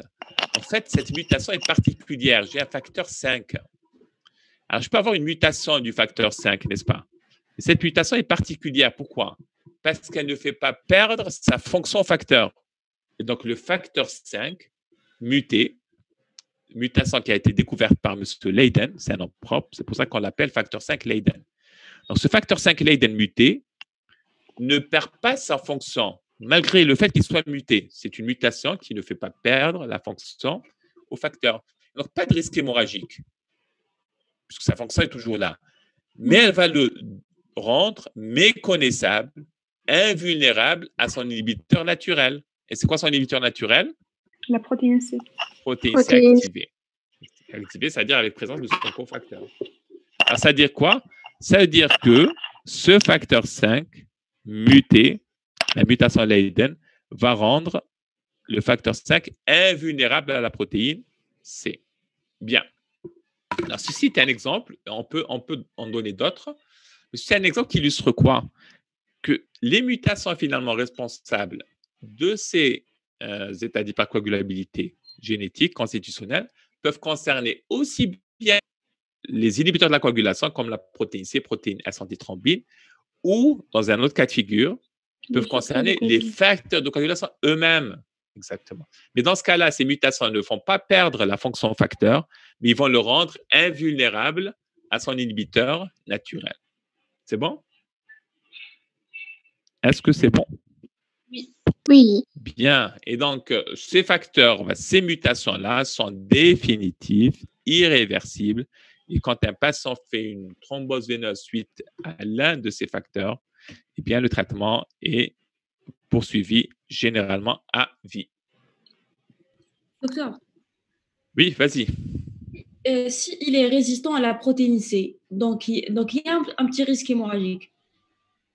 Euh, non, il n'y a pas de risque hémorragique. Pourquoi? Parce que euh, la protéine C fait quoi finalement? Elle, la protéine C, elle, elle augmente quoi? Elle augmente la fluidité. Oui. Donc, quand tu supprimes un fluidifiant, eh ben, ça entraîne quoi? Un état d'hypercoagulabilité. D'accord. Voilà. En fait, c'est le déficit en facteur de coagulation qui entraîne l'hémorragie, comme l'hémophilie. Donc, on, donc, on peut avoir euh, un état d'hypercoagulabilité. Oui, euh, lié, je fais paradoxalement, c'est une mutation qui touche un facteur de coagulation, mais qui entraîne un état d'hypercoagulabilité. Est-ce que tu as compris? Là, je peux réexpliquer. Hein? Oui. Je réexplique. Non, non, euh, euh, j'ai compris. Donc, ce facteur-là, non seulement il fait son travail, mais, mais en plus, il Exactement. Voilà. Exactement. Non seulement la mutation ne l'a pas empêché de faire son travail, donc pas de risque hémorragique, puisque un facteur 5, Leiden, coagule aussi bien qu'un facteur 5 normal. Oui. Mais en plus, il devient invulnérable à la protéine C. La protéine C n'arrive pas à le reconnaître pour l'inhiber. Et donc, il va être comment? Hyperactif. Oui, et qui fait le risque euh, Exactement. C'est-à-dire que la protéine C est là, son cofacteur est là, mais c'est le facteur 5, Leiden, qui n'est pas inhibable, si tu préfères, par la, protéine. C'est bon? Oui. Parfait. Alors, si c'est bon, on passe maintenant euh, un petit peu à la physiopathe propre, propre de l'embolie pulmonaire. Très bien. Donc là, on parlait un petit peu de la physiopathe et des causes de la thrombosénose profonde. Là, on va parler un petit peu de la physiopathe de l'embolie pulmonaire. L'embolie pulmonaire va avoir des conséquences, n'est-ce pas? Donc, physiopathe, on va lire un petit peu migration, migration d'un embole, obstruction brutale de l'artère pulmonaire ou l'une de ses branches. Très bien. Et euh, elle va avoir à la fois des conséquences respiratoires et des conséquences comment? Circulatoires. Ça. ça veut dire quoi? Ça veut dire que les conséquences vont se faire à la fois sur le poumon, donc je vais avoir des conséquences dites respiratoires sur le poumon, et des conséquences sur le cœur, que je vais appeler des conséquences circulatoires. Très bien. Commençons par le poumon. Qu'est-ce qui va se passer au niveau du poumon? La première conséquence de l'embolie pulmonaire, euh, avant que j'aille plus loin, euh, dites-moi, est-ce que vous, vous avez fait pneumo? Donc, ça va être facile. Ben, ça va être très facile. Vous allez comprendre ça. On n'a rien de temps puisque fait pneumo. Parfait. Donc, la première conséquence de l'embolie pulmonaire, ça va être quoi? Ça va être l'augmentation de l'espace mort. Alors, est-ce que vous pouvez me définir ce que c'est que l'espace mort? C'est un espace qui est perfusé, mais non. Euh, non euh, ventilé, mais non perfusé. Ventilé, non perfusé, exactement. Ça, c'est un espace mort, comme l'espace mort anatomique. Ouais. Ah, Citez-moi un exemple d'espace mort anatomique. La trachée, les branches souches. Ah, ça, c'est un espace mort. C'est-à-dire quoi? C'est-à-dire qu'à chaque mouvement respiratoire, n'est-ce pas Qu'est-ce que je fais? Je vais euh, ventiler, n'est-ce pas euh, je vais aérer, ventiler l'air. euh, c'est normal que je ventile l'air parce qu'au niveau des alvéoles, vu qu'il y a des échanges, ben à chaque fois l'O2 va s'appauvrir, l'air alvéolaire en O2 va s'appauvrir, il va se charger de CO2. Donc je dois renouveler ça, renouveler l'air en permanence. C'est le principe de la ventilation. Très bien. Ah, c'est normal que je ventile l'air au niveau des alvéoles parce qu'il il va s'appauvrir. Mais est-ce que c'est utile de changer l'air, la trachée ou la la la Il reste le même ni chargé en CO2, ni appauvri en O2. Pourquoi? Parce qu'il n'y a pas d'échange au niveau de la trachée, pas d'alvéole. Et donc, c'est un espace mort. Pourquoi? Parce que je le ventile quand même. C'est un espace qui est comment? Ventilé. Mais l'échange ne se fait pas. L'échange ne se fait pas. Non perfusé, exactement. Pourquoi je le fais alors? Pourquoi je le fais? Parce que je suis obligé, en fait. Je le fais pour rien, mais je suis obligé parce que c'est un conduit qui amène aux alvéoles. Donc, je suis obligé de ventiler pour accéder à la ventilation des alvéoles. Bien. Et donc, ça, c'est ce qu'on appelle un espace mort. C'est un espace qui est ventilé à chaque fois, mais qui ne participe pas aux échanges gazeux, ben, parce qu'il n'y a pas de vaisseau, il n'y a pas d'alvéole. Très bien. Donc, la première conséquence de l'embolie pulmonaire, ça va être l'augmentation de cet espace mort. Alors, pourquoi augmentation de cet espace mort? Vous allez avoir euh, une artère pulmonaire qui va être victime de quoi? Assis. Voilà. L'artère pulmonaire va être victime d'un embol. La partie qui a été victime de l'embol va perdre sa vascularisation. N'est-ce pas? Oui. Et donc, les alvéoles de cette partie vont continuer, ne serait-ce que dans un premier temps, être quoi finalement? Être ventilés, parce que tous les alvéoles sont ventilés, mais comme ils sont plus perfusés, ils deviennent quoi? Un espace mort. Voilà, exactement. Et donc, je vais avoir un espace mort des zones embolisées qui s'additionnent à l'espace mort anatomique. Et donc, je vais avoir quoi finalement? Une amputation du parti du poumon. C'est-à-dire que la partie du poumon qui a été embolisée va être ventilée pour rien et ne participe plus aux échanges. Est-ce que vous me suivez? Mhm. oui. oui, très bien. Alors ensuite, le corps va essayer de réagir, il va essayer de limiter les conséquences de l'augmentation de cet espace mort en faisant quoi? En enchaînant un bronchospasme. Ouais. bronchospasme qui limite un petit peu la ventilation pour rien de cet espace. Mais là, on va voir quand même dans un premier temps augmentation de l'espace mort. Et donc, euh, l'augmentation de l'espace mort concerne quelles zones? Les zones saines ou les zones embolisées? Embolisées. Embolisées, Embolisées exactement. Très bien. Donc, de nouveau, je vais couper les micros et vous allez les réactiver pour pouvoir parler. Bien. Deuxième conséquence, qui est la plus importante, eh bien, ça va être l'effet shunt. Bien. Alors, c'est quoi l'effet shunt? Qui peut me définir ce que c'est qu'un effet shunt?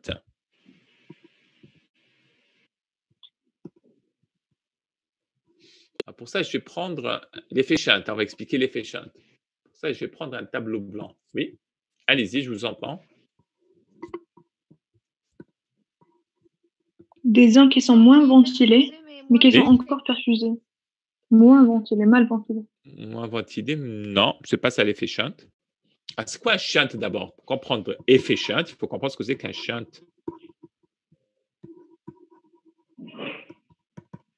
C'est quoi, c'est quoi littéralement un shunt ou je un shunt Une communication anormale. Très bien, mais pas, ça, c'est pas littéralement, ça c'est médicalement. C'est quoi littéralement? Mouvement.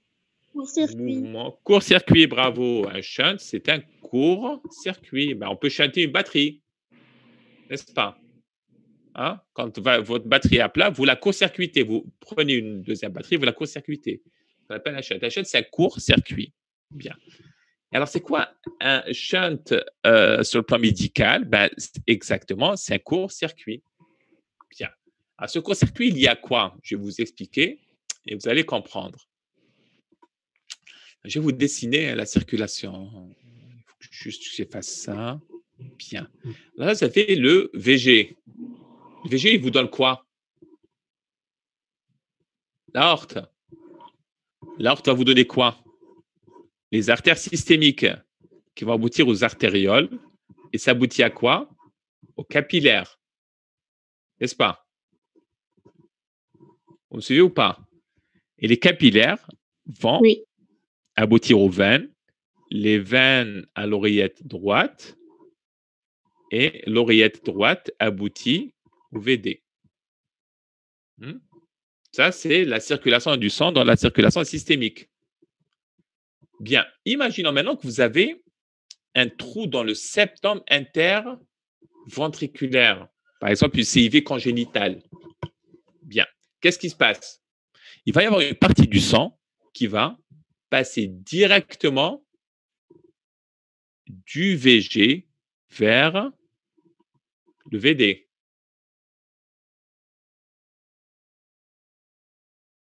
Vrai ou pas? Oui. Ou, la du VD vers le VG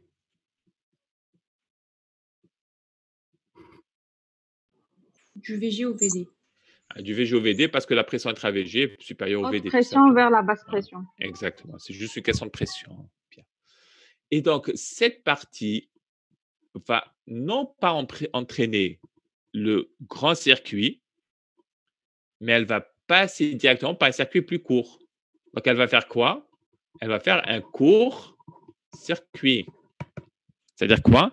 Elle va court-circuiter la circulation systémique. Ben, ça, c'est ce qu'on appelle un shunt gauche-droit. Et quand je dis un shunt gauche-droit, c'est-à-dire que le sang, au lieu de passer par un long circuit, il est passé par un court-circuit. Mais dans l'histoire, qu'est-ce qui est court-circuité? À votre avis? Là, je les Le sang oxygéné. C'est le sang oxygéné, non Non, non, non, non. quelle est la structure qui, était, qui a été court-circuitée Eh bien, c'est les, capillaires. Les capillaires systémiques. Alors, pourquoi c'est eux? Pourquoi c'est eux? Parce que c'est à ce niveau que se font les échanges. En fait, les capillaires, c'est quoi finalement? C'est la partie fonctionnelle de la circulation. Tout le reste, le cœur, les artères, les veines, sont là pour alimenter les capillaires. Enfin, tenez. La partie fonctionnelle de la circulation, c'est les capillaires. Et quand le sang ne passe pas par les capillaires systémiques, on dit qu'il les a shuntés. Ça crée un shunt. C'est-à-dire que le sang rouge, au lieu de passer dans les capillaires pour devenir bleu, qui est un petit peu leur fonction capillaire, eh bien, il va passer directement tout en restant rouge vers la circulation bleue vers le VD. Et donc, le CIV, par exemple, vous créez un shunt gauche-droit. Et dans l'histoire, c'est les capillaires systémiques qui sont shuntés. Vous me suivez? Oui. Oui, parfait. Si maintenant, en plus de cette CIV, notre patient a une sténose pulmonaire congénitale, ben, la si elle est serrée, elle crée quoi? Un gradient de pression avec diminution de la pression navale, augmentation de la pression en amont au niveau du VD. Qu'est-ce qui se passe alors dans ce cas-là? Elle peut dépasser celle du VG. Et si vous avez une CIV associée, ça crée quoi? Shunt VD-VG. Exactement. C'est un shunt comment? Droit, gauche. Et ce shunt droit-gauche, il va chanter quelle structure finalement? Circulation pulmonaire. Oui, mais quoi précisément? Les capillaires. Les capillaires pulmonaires, exactement. Et donc, c'est quoi un shunt finalement? C'est du sang qui passe pas par les capillaires. C'est ça un shunt. Donc, si c'est les capillaires systémiques, c'est un shunt systémique gauche, droit. Si c'est les capillaires pulmonaires, c'est un shunt droite, gauche. Vous suivez ou pas? Donc, au lieu de passer par l'artère pulmonaire, n'est-ce pas? Les artérioles pulmonaires, les capillaires pulmonaires, où il était censé s'oxygéner et devenir rouge pour repasser par les veines pulmonaires, l'oreillette gauche, le ventricule gauche, ben non, il passe directement du VD vers le VG. Et donc, il va court-circuiter quoi finalement? Les capillaires pulmonaires. Et là, c'est un sang qui, comment, qui est bleu, désaturé, bleu avec E, ou même, non, c'est du sang sans E, bleu qui passe dans la circulation rouge. Et là, ça va être source de quoi alors? Cyanose, exactement. Parce qu'il n'a, il s'est pas oxygéné au niveau du poumon. Ça augmente euh, la concentration du sang bleu, du sang désaturé. Et ben, ça entraîne une cyanose. C'est pour ça que les chantes droit-gauche sont des chantes cyanogènes. Et les cardiopathies qui s'accompagnent de chantes droite-gauche, c'est des cardiopathies congénitales cyanogènes. Vous suivez ou pas? Est-ce que c'est bon? Est-ce que vous avez compris ce que c'est qu'un shunt? Oui. Je peux résumer. Oui. Un shunt, un shunt, c'est quoi? C'est quand une partie du sang ne passe pas par les capillaires et passe directement d'une circulation à une autre. La circulation veineuse, la circulation artérielle, sans passer par les capillaires. Alors, si c'est les capillaires systémiques, c'est un shunt gauche-droit, comme le ferait une communication interventriculaire, une communication interauriculaire. Si maintenant c'est un shunt droit-gauche, c'est les capillaires pulmonaires qui sont court-circuités. Le sang ne passe pas par les capillaires pulmonaires. Il n'est pas oxygéné. Du sang bleu rejoint directement la circulation rouge, responsable de cyanose. Et donc, ça, c'est un, euh, ça, c'est un véritable shunt. Hein. Très bien. Mais dans l'embolie pulmonaire, je ne vais pas avoir un véritable shunt. Je vais avoir plutôt juste un effet shunt.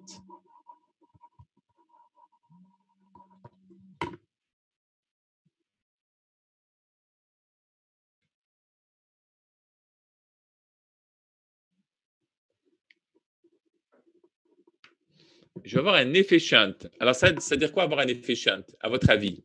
Pourquoi je parle d'un effet shunt? Je vais vous laisser réfléchir, je vais répondre à un coup de fil. Euh, réfléchissez, pourquoi je parle d'effet et non pas de shunt?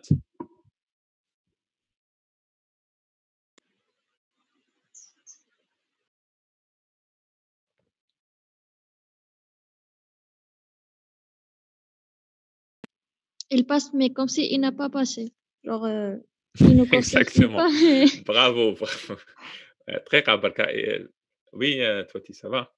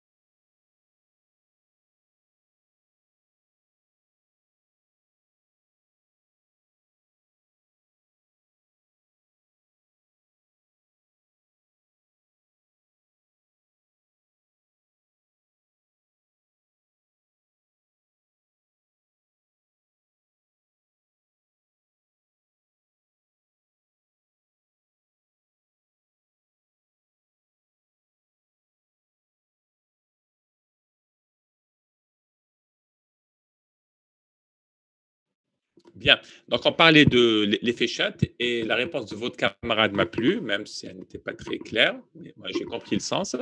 En fait, un effet shunt, c'est quoi? C'est je vais avoir les mêmes effets qu'un shunt sans que ça soit un shunt vrai. Alors, C'est-à-dire quoi sans que ce soit un shunt vrai? C'est-à-dire qu'il n'y a pas de shunt vrai.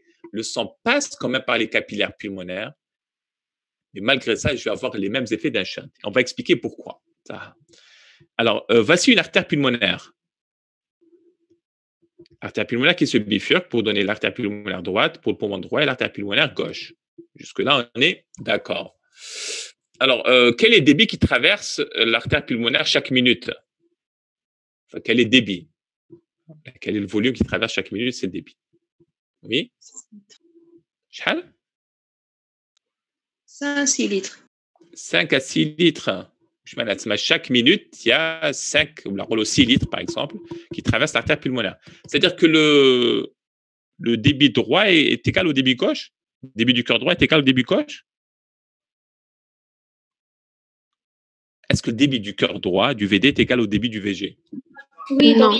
Oui, ouais, exactement. Pour- Pourquoi oui? Parce que finalement, la circulation se fait en série. hein. On en parlera de ça tout à l'heure. Donc, chaque minute, il y a 6 litres qui traversent ben quoi, euh, l'artère pulmonaire. Bien. On va dire que schématiquement, ben, puisqu'elle se bifurque, 3 litres vont partir à droite et 3 litres vont partir à gauche. Est-ce qu'on est d'accord jusque-là?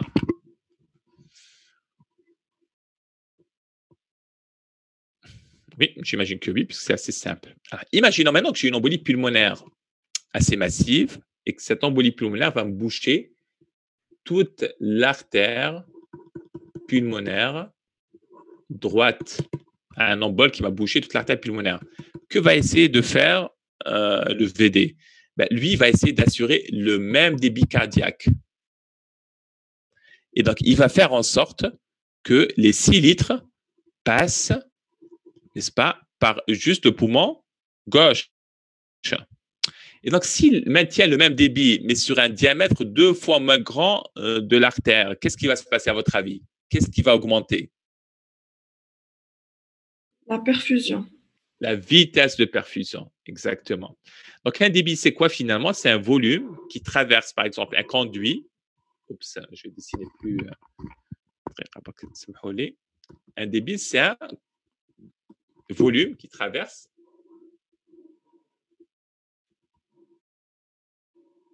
C'est un certain volume qui traverse un conduit dans un certain temps. Bien. Je peux faire passer 6 litres, 6 litres sur un conduit de ce diamètre. Et je vais avoir un certain débit, une certaine vitesse du flux. Imaginons que j'ai envie de passer 12 litres sur le même tuyau.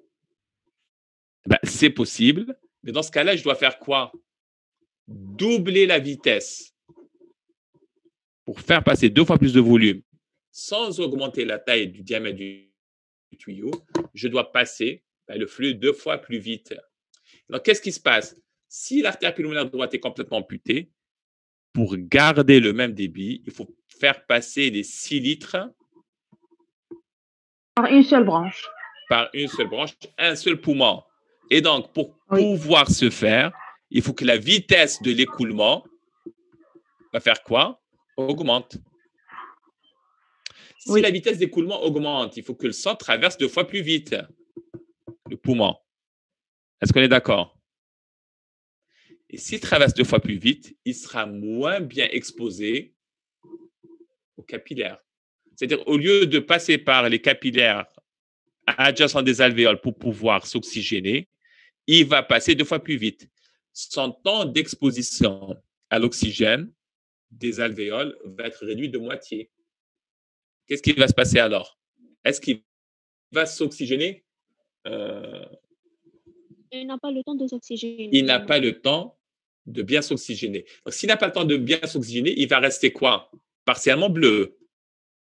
Il va rejoindre les veines pulmonaires, la circulation rouge, et comme il est partiellement bleu, ça va être source de quoi? D'une cyanose. Cyanose. Exactement. Et donc, il faut remarquer une chose, ça va avoir les mêmes effets qu'un shunt. Parce que du sang bleu, partiellement bleu, rejoint la circulation rouge. Mais ce n'est pas un véritable shunt. C'est que le sang est passé par les capillaires, mais il est passé tellement vite qu'il n'a pas pu correctement s'oxygéner. Est-ce que vous m'avez compris? Oui. Très bien. Oui. Parfait. Attends comme un exemple. Attends comme un exemple. Hein? Alors, est-ce que. Je vous donne un exemple un petit peu concret. hein, voilà. Est-ce que euh, Est-ce que vous avez pris une douche ce matin? J'imagine que tout le monde a pris une douche ce matin, n'est-ce pas? Et donc, en prenant votre douche ce matin, euh, vous avez utilisé un chauffe-bain? Oui. Oui. Alors, quel est le principe du chauffe-bain? Ben, C'est un tuyau, Agda, qui passe par une flamme, qui va chauffer, hein, augmenter la température. Vous avez de l'eau chaude qui ressort du chauffe-bain de l'autre côté. Qu'est-ce qui se passe? Si vous augmentez le débit tu l'eau qui traverse le chauffe-bain sans augmenter la flamme. Qu'est-ce qui va se passer à votre avis? Eh bien, l'eau devient froide, exactement. Pourquoi l'eau devient froide? Parce que son temps d'exposition à la flamme pour pouvoir s'échauffer a été réduit. Qu'est-ce que vous devez faire alors pour avoir la même température? Il faut augmenter le. Augmenter la flamme. Donc, si vous doublez le débit, il faut doubler la puissance de la flamme. Très bien. Donc, suite à cet effet shunt, que va faire le corps? Que va faire le corps? Une hyperventilation. Il va hyperventiler, exactement. Pourquoi il hyperventile? C'est pour pouvoir oxygéner. oxygéner le surplus du débit. Oui. Et pour maintenir, très rabac, le rapport perfusion sur ventilation, toujours d'une manière harmonieuse. Et donc, si la perfusion augmente, il faut augmenter la ventilation de la même manière pour que le sang soit correctement oxygéné. Ça, un autre exemple. Vous allez comprendre. Hein.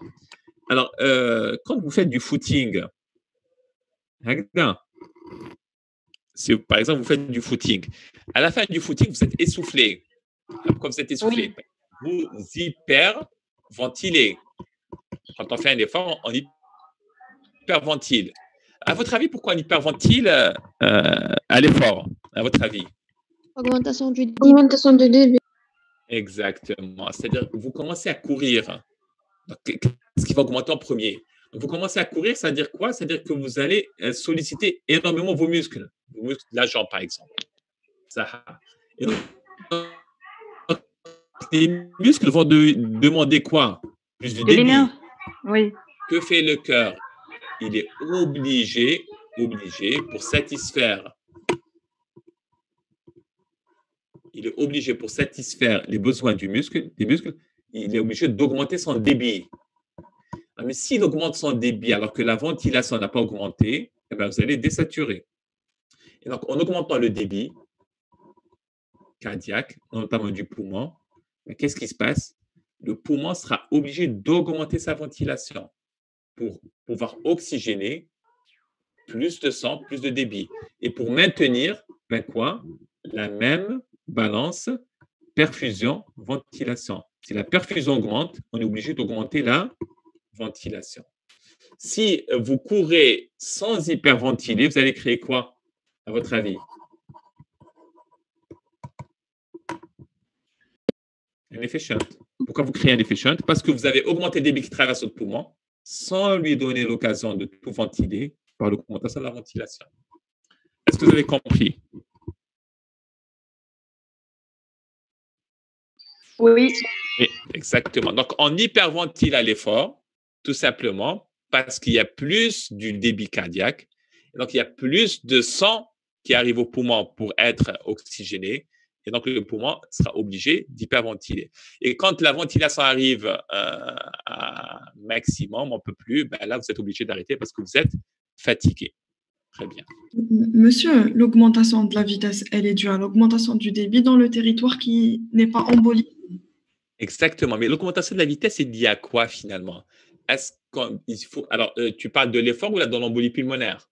Non, l'embolie pulmonaire. Très bien. Dans l'embolie pulmonaire, l'augmentation de la vitesse est liée au fait qu'on doit maintenir le même débit, le même débit malgré la réduction de la taille du tuyau. Du tuyau. Exactement. C'est-à-dire qu'au lieu que les 6 litres, regarde, au, lieu que les 6 litres soient partagés à parts égales entre le poumon droit et le poumon gauche, si tu as un poumon droit embolisé, par exemple, les 6 litres doivent traverser les, tous les 6 litres, tout le débit, les 6 litres doivent traverser uniquement le poumon gauche. pour pouvoir le traverser, hein, en assurant le même débit, il faut que ça lui, le traverse deux fois plus rapidement. Rapidement. Ouais, très bien. Et donc, finalement, l'effet shunt, il y a quoi? Une hyper perfusion des zones saines. Vous voyez? Donc, vous avez l'espace, l'augmentation de l'espace mort qui concerne quoi? Les zones embolisées. Et l'effet shunt concerne quoi? Les zones saines. Les zones saines qui vont être comment? Hyper ventilées, euh, hyper perfusées. Et si la ventilation n'arrive pas à euh, ventiler cet excès de, débit, cette hypervascularisation, et ça entraîne un effet shunt. Est-ce que vous avez compris ou là ce que je réexplique l'effet shunt parce que c'est extrêmement important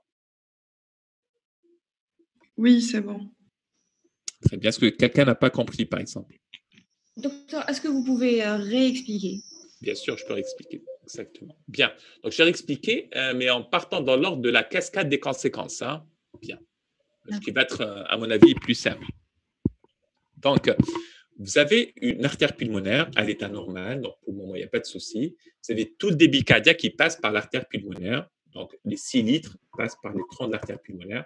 On va dire que globalement, ça va être partagé entre le poumon droit et le poumon gauche et même au niveau au sein d'un poumon entre les différentes parties du poumon. C'est-à-dire ce débit va être divisé, distribué à l'ensemble du poumon où on peut imaginer que 3 litres partiront à droite et 3 litres partiront à gauche.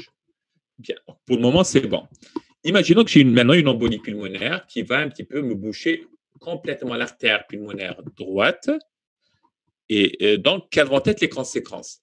Ben, pour maintenir le débit cardiaque, le même débit cardiaque, et la priorité, c'est toujours maintenir le débit cardiaque, hein. sinon c'est l'état de choc et la mort. Qu'est-ce qu'il va y avoir? Il va y avoir les 6 litres qui vont passer à droite. 6 litres qui vont passer à droite, euh, à gauche, parce que la droite est bouchée, exactement. Mais entre-temps, le diamètre de l'artère pulmonaire gauche n'a pas augmenté. Pour passer les 6 litres dans un diamètre deux fois moins grand, il faut que ça passe deux fois plus vite. Et donc, qu'est-ce qui va se passer?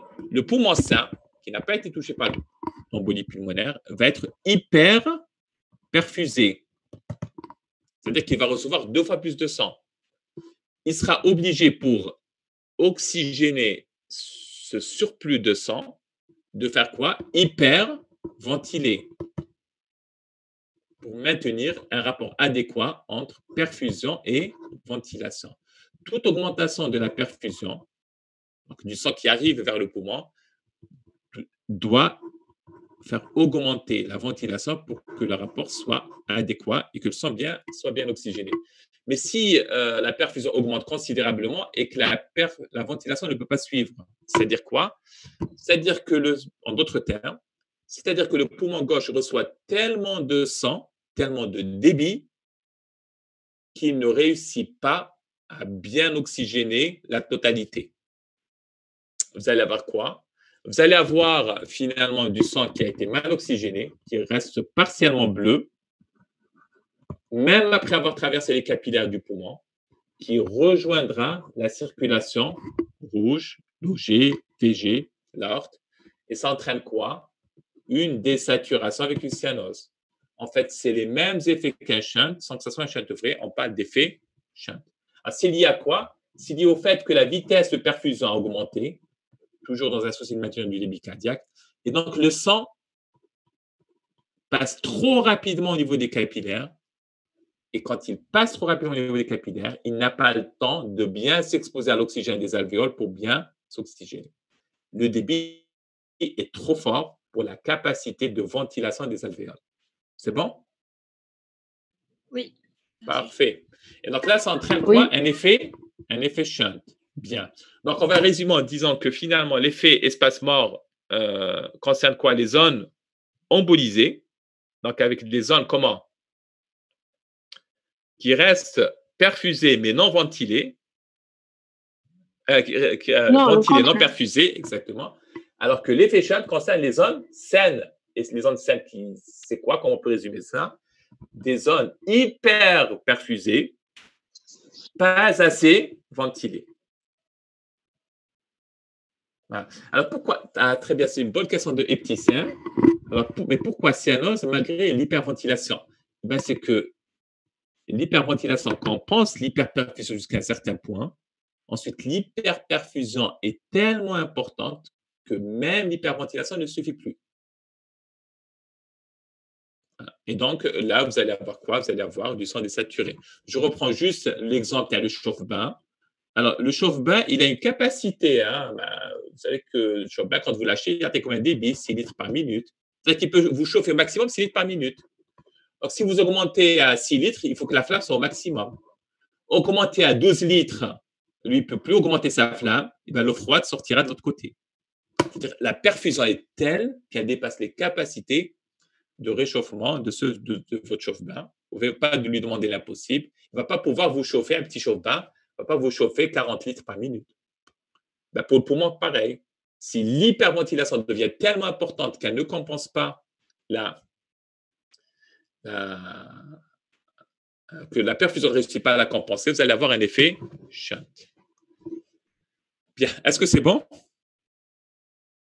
Oui.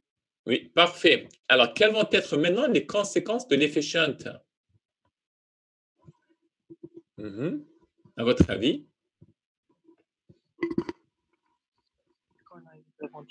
Hyperventilation. Ah, Elias. Cyanose. Ah, c'est pas Elias. oui, c'est moi. Ah, bah, oui, non, là, que c'est Bien. Alors, c'est quoi les conséquences de ça? J'ai repartagé, nouveau partage. Je vais revenir sur le truc. Ah, ça va être quoi les, les conséquences? Mhm. Une dispute. Ah, une dispute. Alors, la première fois, bon, le, principal effet, c'est l'effet shunt. Hein? Dans les deux, le principal, le plus déterminant, c'est l'effet shunt. Bien. L'effet shunt va entraîner une hypoxémie. Ben, l'effet shunt va entraîner une hypoxémie, exactement. Alors, ce n'est pas hypoxie, mais hypoxémie. C'est, pas une, c'est quoi une hypoxémie, à votre avis? Diminution de l'oxygène dans le sang. La diminution de concentration d'oxygène dans le Alors sang. que l'hypoxie, c'est la, euh, la distribution de l'oxygène. Ah, L'hypoxie, l'hypoxie, c'est la diminution euh, de l'oxygénation tissulaire. Je Ouais. parlais d'une hypoxie, euh, voilà. Alors que l'hypoxémie, c'est quoi? C'est la diminution de la concentration de l'oxygène du sang artériel. Quand tu hypoxémie, c'est dans le sang artériel, hypoxémie. D'accord? Donc, c'est quelque chose qu'on va un petit peu avoir par gazométrie. Très bien. Donc, effet Shunt entraîne une hypoxémie. Et l'hypoxémie, donc diminution du sang artériel, entraîne une hyperventilation. Alors, pourquoi ça entraîne une hyperventilation et par quel mécanisme?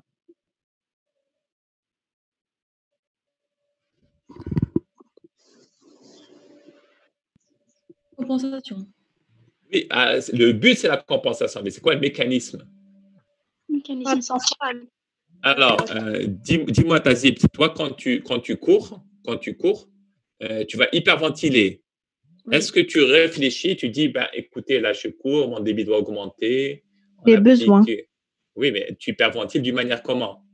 Euh, réflexe. Euh, Réflexe, exactement. Donc, il va y avoir une hyperventilation comment? Réflexe. Alors, Réflexe. exactement. Et comment se passe cette. C'est quoi le mécanisme? En augmentant le CO2 Oui, euh, dans le sang, on hyperventile. exactement. Mais oui, mais je sais, mais comment tu hyperventiles? Activation des barorécepteurs. Non, c'est la stimulation des centres des commandes respiratoires. Ouais, alors, c'est quoi? C'est des centres nerveux. euh, je vais couper les micros. C'est des centres nerveux qui, euh, qui, enfin, qui commandent les muscles respiratoires. Alors, est-ce que les muscles respiratoires sont euh, volontaires ou involontaires? Involontaire. Partiellement, partiellement volontaires. C'est-à-dire que je peux faire une apnée, je peux couper ma respiration. N'est-ce pas? Hein? J'ai arrêté mes muscles respiratoires. Donc, ils sont partiellement volontaires, mais ben, ça peut échapper à ma volonté. Bien. J'imagine que quand vous étiez petit, euh, tout le monde a fait l'expérience de vouloir se suicider en coupant sa respiration. Vous avez fait ça ou pas? Oui. Oui, très bien. Est-ce que tu as réussi? Non. non, alhamdoulilah.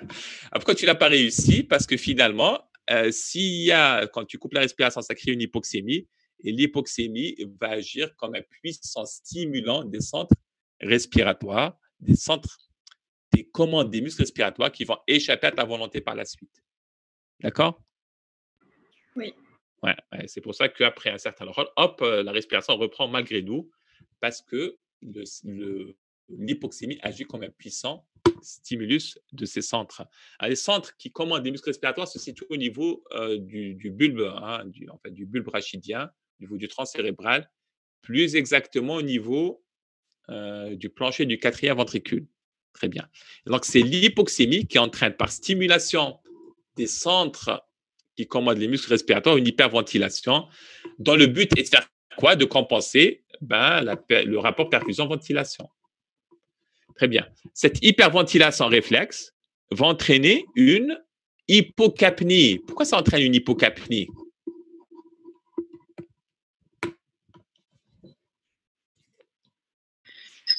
Élimination massive du CO2 par l'hyperventilation. Exactement. Parce que le CO2, le CO2 euh, n'a pas de problème pour passer la, la barrière alvéolo-capillaire. Il passe très facilement. Donc, lui qui est hyper débit ou pas, bah, il diffuse 20 fois plus vite, 20 fois plus facilement. Et donc, lui n'est pas gêné par l'effet shunt. Hein. Même si le sang passe très rapidement le poumon, le, sang a du mal à se charger d'oxygène, parce que l'oxygène passe difficilement la barrière alvéolo-capillaire, alors que le CO2 n'a aucun problème pour s'évacuer. Pire encore, l'hyperventilation, le fait qu'on hyperventile, nous fait perdre ce CO2 qui diffuse trop facilement, et ça aboutit à quoi? À une hypocapnie. Le CO2 est un gaz acide, et quand on fait une hypocapnie, ça entraîne quoi? Ben, une alcalose, perte d'un gaz euh, acide. Une alcalose respiratoire. Alcalose respiratoire, très douloureuse à l'oreille, l'alcalose respiratoire. Bien. Et donc, euh, l'alcalose respiratoire n'est que la conséquence de l'hypocapnie, qui est la conséquence de l'hyperventilation réflexe, qui, elle, est conséquence de l'hypoxémie, qui, elle, est principalement la conséquence de l'effet shunt. J'espère que vous avez compris un petit peu la cascade euh, physiopathologique qui aboutira finalement quand vous faites une gazométrie à un patient qui a une embolie pulmonaire importante avec effet shunt, vous allez avoir quoi finalement? Vous allez avoir une hypoxémie avec hypocapnie, une alcalose respiratoire. Ça, c'est la gazométrie typique d'une embolie pulmonaire. Alors, exception faite, euh, sauf si euh, l'embolie pulmonaire est tellement grave qu'elle entraîne un état de choc. L'état de choc ben, entraînerait une hypoperfusion tissulaire généralisée, les tissus ne reçoivent plus de, débit, hein. Ben, il n'y a plus d'oxygène qui arrive au tissu, il sera obligé de se débrouiller en anaérobie. La respiration cellulaire devient anaérobique, qui, ce qui produit des H+, responsable de quoi? D'une acidose. Acidose métabolique. Exactement. Acidose métabolique euh, qui, euh, un petit peu, euh, voilà, euh, non pas spécifique à l'embolie pulmonaire, mais qui est spécifique, enfin, qui est la conséquence de l'état de choc. Alors, pourquoi normocapnie? Ben, Généralement, c'est une hypocapnie. Alors, on a une normocapnie quand le patient a déjà une insuffisance respiratoire chronique avec une hypercapnie. Une BPC. BPC, oui, exactement. plutôt. Bien. Est-ce que c'est bon? Oui. Parfait. Alors, si c'est bon, on passe aux conséquences circulatoires. Docteur Oui. Vous pouvez expliquer euh, l'acidose métabolique, pourquoi elle survient? Oui, oui, bien sûr. Donc, l'acidose métabolique, en fait, ce n'est pas spécifique à l'embolie pulmonaire, mais c'est lié à l'état de choc. Tout état de choc, quelle que soit la nature, ben, entraîne une acidose métabolique. Pourquoi? Parce qu'il va y avoir un ralentissement du débit cardiaque. Le débit cardiaque n'est plus suffisant aux besoins métaboliques de l'organisme le tissu, les tissus ne reçoivent plus assez de débit cardiaque, donc plus assez d'oxygène. Mais qu'est-ce qui se passe? Puisqu'ils ne reçoivent pas d'oxygène, ils sont quand même obligés de produire de l'énergie. Ils vont la produire par les voies métaboliques anaérobiques. Et les voies anaérobiques, non seulement elles sont très peu rentables en matière d'énergie, mais elles sécrètent des ions H+, comme les lactates exactement, qui seront déversés dans le sang et qui vont entraîner une acidose métabolique. C'est bon? Bien. Alors, si c'est bon, on passe au truc suivant. Mhm. Dites-moi oui pour que je puisse passer. Oui. Oui, parfait. Donc, quelles sont les conséquences euh, euh, circulatoires maintenant? Et donc, à votre avis, quelle est, quelle est la partie de la circulation qui va souffrir le plus de l'embolie pulmonaire? Mhm. La partie embolisée. La partie embolisée.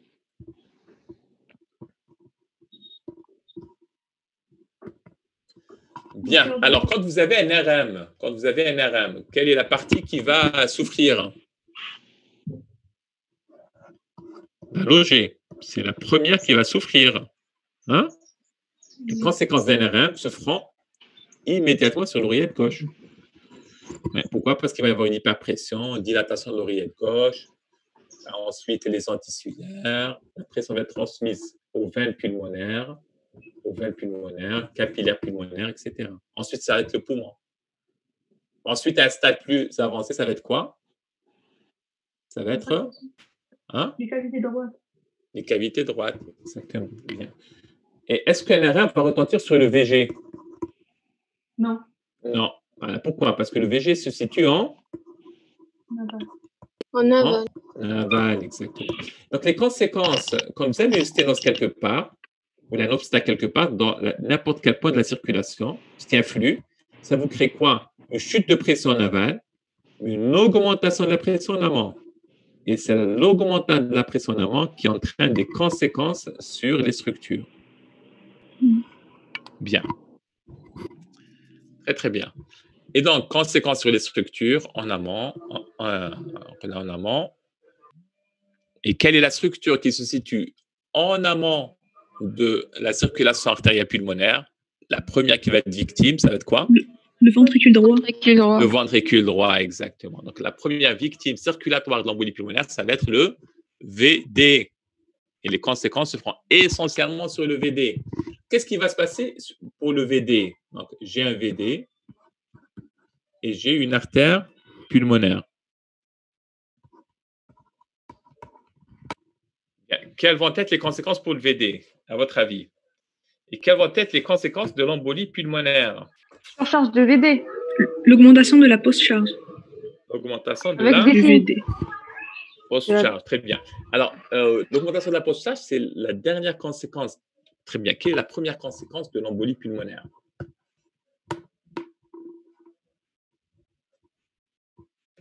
Sur le plan clinique ou euh, circulatoire? Euh, sur le plan circulatoire, physiopathologique. HTAP HTAP, c'est la conséquence. Bah, voici. L'augmentation des résistances pulmonaires. Très bien. Donc, euh, quand j'ai une embolie pulmonaire, la première conséquence, par exemple une embolie pulmonaire qui me ferme complètement l'artère pulmonaire droite, la première conséquence, ça va être quoi? Ça va être la réduction du lit artériel pulmonaire, c'est-à-dire la réduction du diamètre de l'artère pulmonaire. Ah, l'artère pulmonaire, une coupe. Si j'ai la branche droite qui se ferme complètement, comme si l'artère pulmonaire a été réduite de moitié. Vrai ou pas? Son diamètre a été réduit de moitié. Hein? Vous suivez ou pas? Bien. Euh, voyez, vous me voyez sur la caméra ou pas? Oui. Bien, c'est quoi ça?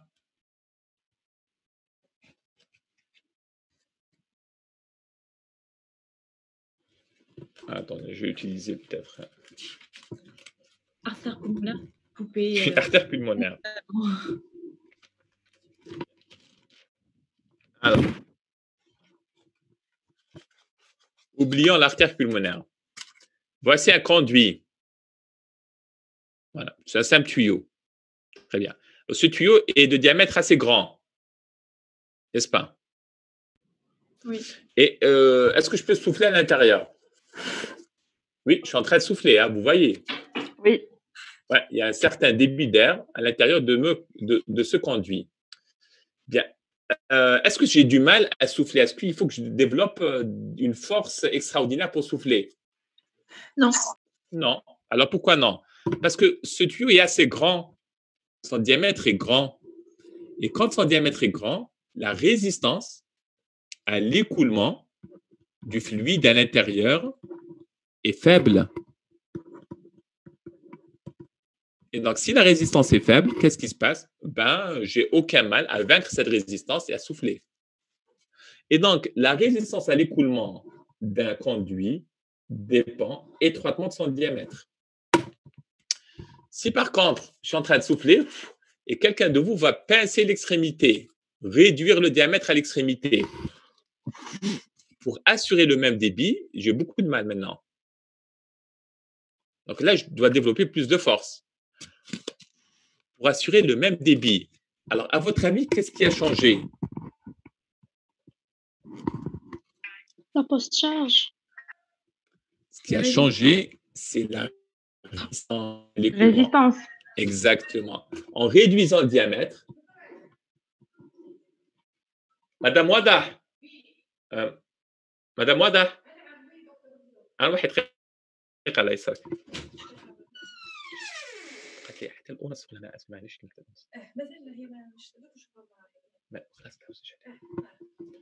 Bien, donc, qu'est-ce qui, a, augmenté finalement C'est la résistance à l'écoulement. N'est-ce pas? Pourquoi la résistance a augmenté? Parce que le diamètre s'est réduit. Et donc, un gros conduit offre peu de résistance à l'écoulement, alors qu'un conduit plus petit, pour assurer le même débit, résiste plus. Vous me suivez ou pas? C'est comme un petit peu un câble électrique. Un câble électrique, quand il est grand, il peut vous assurer une faible résistance. Si vous réduisez le diamètre du fil électrique hein, pour véhiculer la même quantité d'électricité, la résistance augmente. Vous Comme suivez ou pas? tuyau d'arrosage. Comme le tuyau d'arrosage, exactement. Donc, ce qui augmente, c'est la résistance à l'écoulement. Et donc, pour moi, pour que je puisse assurer le même débit, qu'est-ce que je dois faire? Je dois développer plus de force pour vaincre les nouvelles résistances. Donc, il va y avoir, pareil, une cascade de conséquences.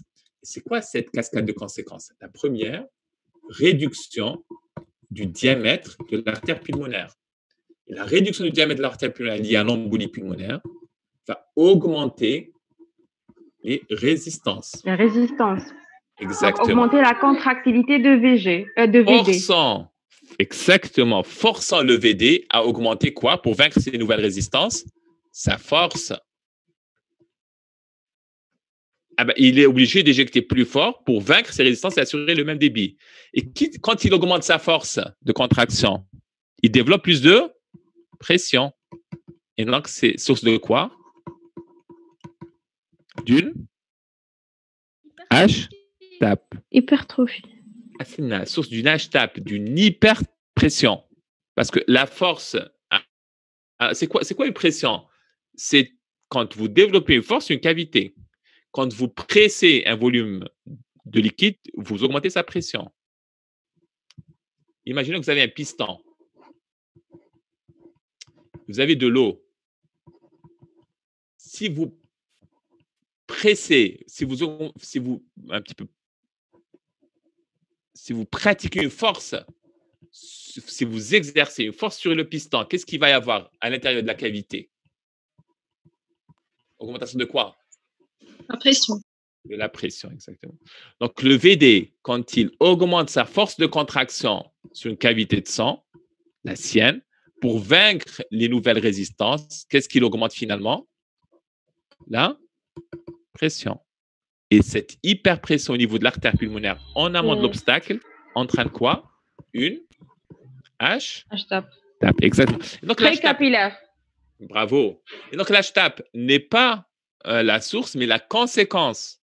Conséquence de quoi? Pareil, d'une cascade de phénomènes physiopathologiques. Diminution du diamètre, augmentation des résistances, obligeant le VD à augmenter la force, qui finira par augmenter de la pression au niveau de l'artère pulmonaire en amont de l'obstacle et ça entraîne une H-tape. Comment tu as dit pré capillaire. Pré-capillaire. Ah, pourquoi c'est une H-tape pré-capillaire? Pourquoi pas post-capillaire? Pourquoi pas mixte?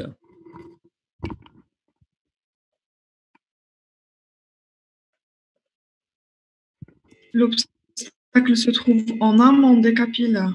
Exactement. Donc, quand on parle d'HTAP pré ou la post capillaire, c'est par rapport à l'obstacle. Obstacle. Voilà. Alors, ça veut dire quoi? Un RM entraîne quel type d'HTAP, le RM Une post capillaire. Non. Dans un Hein? premier temps, post capillaire, parce que l'obstacle se situe où? Au niveau de la valve mitrale. Et la valve mitrale, en suivant le sens de la circulation pulmonaire, se situe après les capillaires. En aval, oui. Exactement. Donc, c'est une HTAP post-capillaire. Mais après un certain temps, ça retentit sur le. Sur ça- quoi? Ça retentit en amont. Sur le cœur dans. Ouais. Ça, ça retentit après un certain temps. L'HTAP post-capillaire se retentit sur les artérioles. Ah, voilà pourquoi ça retentit sur les artérioles. Pourquoi l'HTAP post-capillaire retentit sur les artérioles? En entraînant quoi déjà?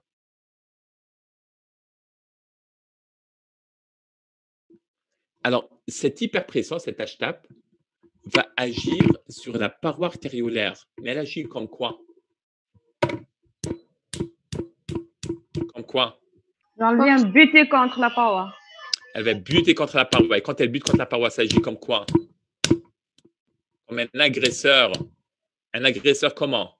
Mécanique. Elle va agresser en permanence la paroi des capillaires. Et suite à cette agression, que va faire la paroi des artérioles, pas des, des capillaires, des artérioles Elles vont se fibroser. Vous le suivez ou pas? Elles se fibrosent qu'il y a quoi? À une agression mécanique.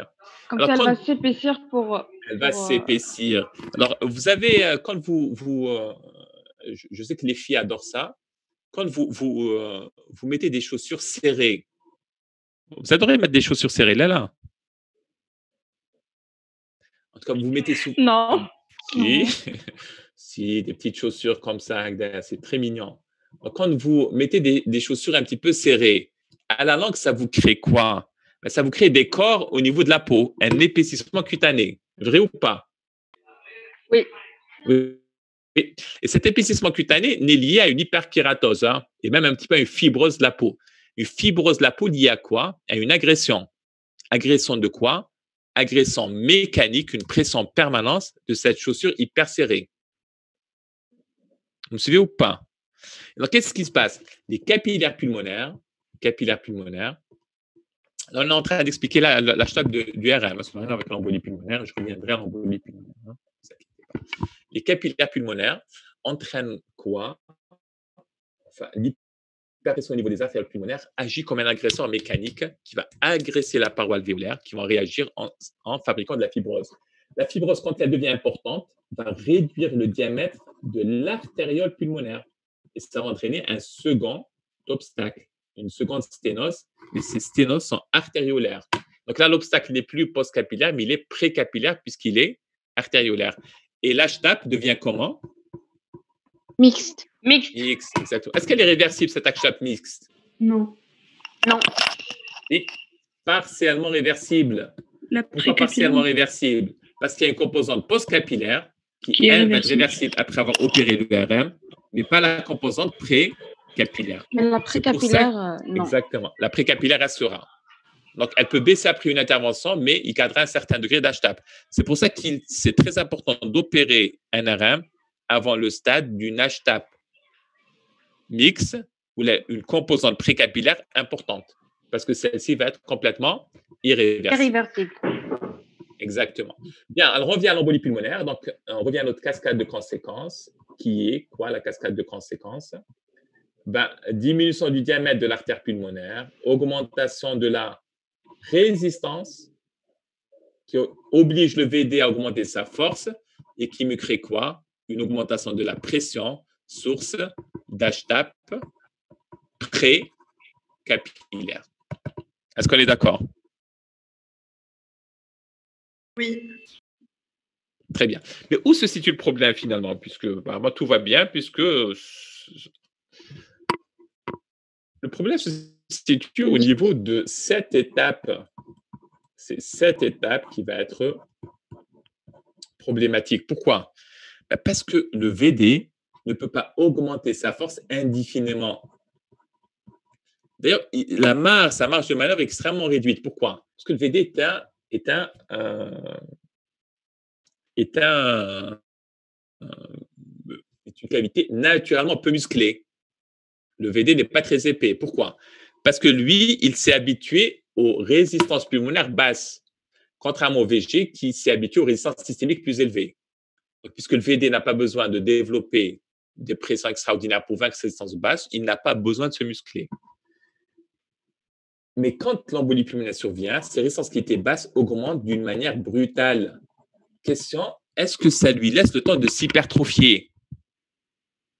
Non. Non, voilà, exactement. Bien. Euh, pourquoi? Ben, Parce que l'hypertrophie prend du temps. Hein? Euh, Ilias, tu es toujours là? Oui, docteur, je suis encore là. Très bien. Imaginons, Ilias veut faire un petit peu de la musculation hein, pour devenir euh, musclé beau gosse. Il est déjà, il est déjà beau gosse, mais il veut devenir davantage. Donc, il va aller s'inscrire à la salle de sport. Il y a qu'Ilias. Il va se donner à fond. Il va soulever de la fente pendant six heures d'affilée. Et à la fin, il va se mettre torse nu devant le miroir pour apprécier l'hypertrophie de ses muscles. Est-ce que vous croyez qu'il va être euh, bien musclé après cette séance? DAOT. Non. non. Aucun changement. aucun changement. Bon, monsieur, aucun changement. Disons qu'un tout petit changement peut être imperceptible. N'est-ce pas? Alors pourquoi? Parce qu'il n'a pas laissé assez de temps à ses muscles de s'hypertrophier. Par contre, s'il fait des séances régulières pendant six mois, ben, Ilias sera complètement transformé à la venue de l'été. Il sera très bon maillot de bain, n'est-ce pas? Bien. Et donc, le processus d'hypertrophie des muscles ou même du cavité cardiaque prend du temps. Est-ce qu'on dispose du temps dans l'embolie pulmonaire? Non. Non, exactement. Pourquoi on ne dispose pas de temps? Parce qu'il est brutal. Brutal, exactement. Et donc, l'hypertrophie qui est finalement quoi? Un mécanisme de compensation n'a pas le temps de se mettre en route. Et donc, le VD n'a pas le temps de s'hypertrophier. Il peut augmenter sa force, mais il ne peut pas l'augmenter d'une manière très importante. Parce que, premièrement, il n'est pas musclé. Naturellement, il n'est pas musclé. Et deuxièmement, il n'a pas le temps de s'hypertrophier. Vous suivez ou pas? Oui. Oui. Et donc, si euh, en augmentant, si euh, ben, il ne peut pas augmenter sa force indéfiniment, si les résistances continuent à augmenter alors que sa force est au maximum, qu'est-ce qui se passe? Il ne peut plus éjecter. Il n'est plus capable de vaincre ces nouvelles résistances. S'il n'éjecte pas, il continue à être rempli, hein, parce que le VG qui se contracte, lui, lui envoie à travers la circulation systémique du retour veineux. Le retour veineux arrive alors que le VD n'éjecte pas. Qu'est-ce qui se, passe? dilater. Il va se dilater, exactement. Voilà. Et donc, dans l'embolie pulmonaire, quand vous faites une échographie, un patient qui a une embolie pulmonaire grave, vous n'allez jamais trouver un VD hypertrophié, mais un VD dilaté. Et le fait de trouver un VD dilaté est un signe de gravité. Pourquoi c'est un signe de gravité? Parce que ça signifie que le, le mécanisme, le seul mécanisme de compensation qu'on dispose, qui est limité, qui est l'augmentation de la force de contraction du VD, est déjà épuisé. Et qu'un VD dilaté, ça signifie un VD vaincu par les nouvelles résistances pulmonaires. Et donc, ça, il peut plus éjecter, il se dilate, le débit cardiaque baisse, choc cardiogénique, on meurt. Donc, de quoi meurt-on flambolie pulmonaire finalement? Soit d'une hypoxémie sévère, si c'est l'effet shunt, soit d'un état de choc. Un état de choc lié à quoi, à votre avis? Défaillance aiguë du VD. Pourquoi il y a une défaillance aiguë du VD tout simplement parce que les résistances pulmonaires deviennent trop importantes et d'une manière brutale, dépassant les capacités du VD. Est-ce que ça a été bien compris Oui. Oui, parfait. Alors, euh, reste à un petit peu expliquer juste un dernier phénomène. Et pour finir la physiopathe, et le dernier phénomène est le suivant. Bien. Donc, euh, on avait dit qu'il y avait une cascade de conséquences, diminution du diamètre de l'artère pulmonaire, qui augmente quoi? Les résistance, qui force le VD à augmenter sa force et qui entraîne une HTAP précapillaire. Et si la résistance augmente considérablement, le VD peut plus augmenter sa force. Il n'a pas le temps d'hypertrophier et c'est l'état de choc. Bien. Donc, ça, part du principe où l'augmentation euh, du, la réduction du diamètre entraîne une augmentation des résistances. Donc, imaginons que je vous trace une courbe.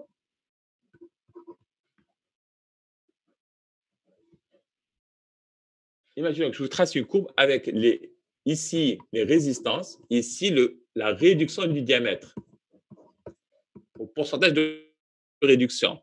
On pourrait croire que plus le diamètre se réduit, plus la résistance augmente. Donc, je vais avoir une courbe comme ça à peu près. N'est-ce pas? Donc, si j'ai 50% d'obstruction, j'ai un certain niveau de résistance. Si j'ai 80% d'obstruction, ce qui est plus grave, à plus d'obstruction, ben, la résistance augmente davantage. Est-ce que cette courbe vous paraît euh, correcte?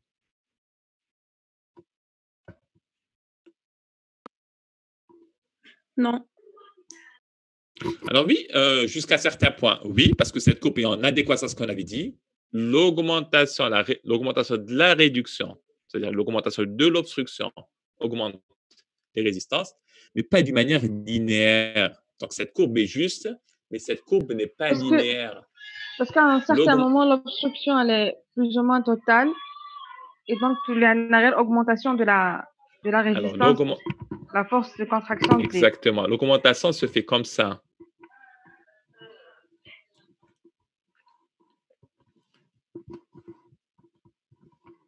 L'augmentation se fait comme ça. Donc, elle augmente. Hein. Quand l'obstruction augmente, la résistance augmente. Mais avec une courbe qui ressemble à ça.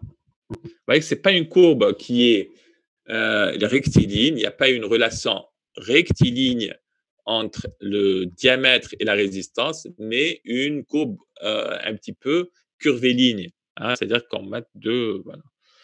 Ah, c'est-à-dire quoi? Ça, c'est de la physique. Hein. Ah, c'est pas de la médecine.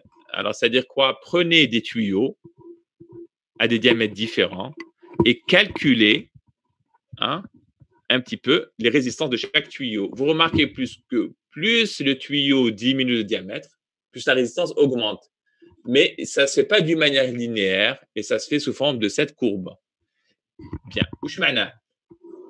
Mana, avec un virage qui se situe aux alentours de 50%. Alors, qu'est-ce que ça veut dire? Et c'est quoi les conséquences de 50% C'est quoi les conséquences? C'est-à-dire, tant que, tant que le diamètre, tant que l'obstruction est inférieure à 50%, à 50%, c'est énorme. Hein? Tu achètes à 50%. C'est-à-dire qu'on perd tout un poumon. Voilà. Tant que la réduction du diamètre est inférieure à 50%, ben, qu'est-ce qui se passe? L'augmentation de résistance reste modeste. Mais passer ce cap de 50%, ça augmente par exemple à 60 ou à 70%, voilà. Si ça augmente juste à 65%, qu'est-ce qui se passe? L'augmentation des résistances s'affole et les résistances augmentent très considérablement. Vous me suivez ou pas? Oui. Oui, alors ça veut dire quoi? C'est quoi l'implication par la suite clinique de ça? Une embolie pulmonaire peut être massive, c'est-à-dire qu'il touche 50%, mais malgré ça, malgré ça, elle reste bien tolérée sur le plan hémodynamique. Pourquoi? Parce que les résistances ont augmenté d'une manière modeste. Mais est-ce que cette bonne tolérance hémodynamique est solide ou est-ce qu'elle est juste apparente? Eh bien, la réponse, c'est qu'elle est juste apparente. Pourquoi?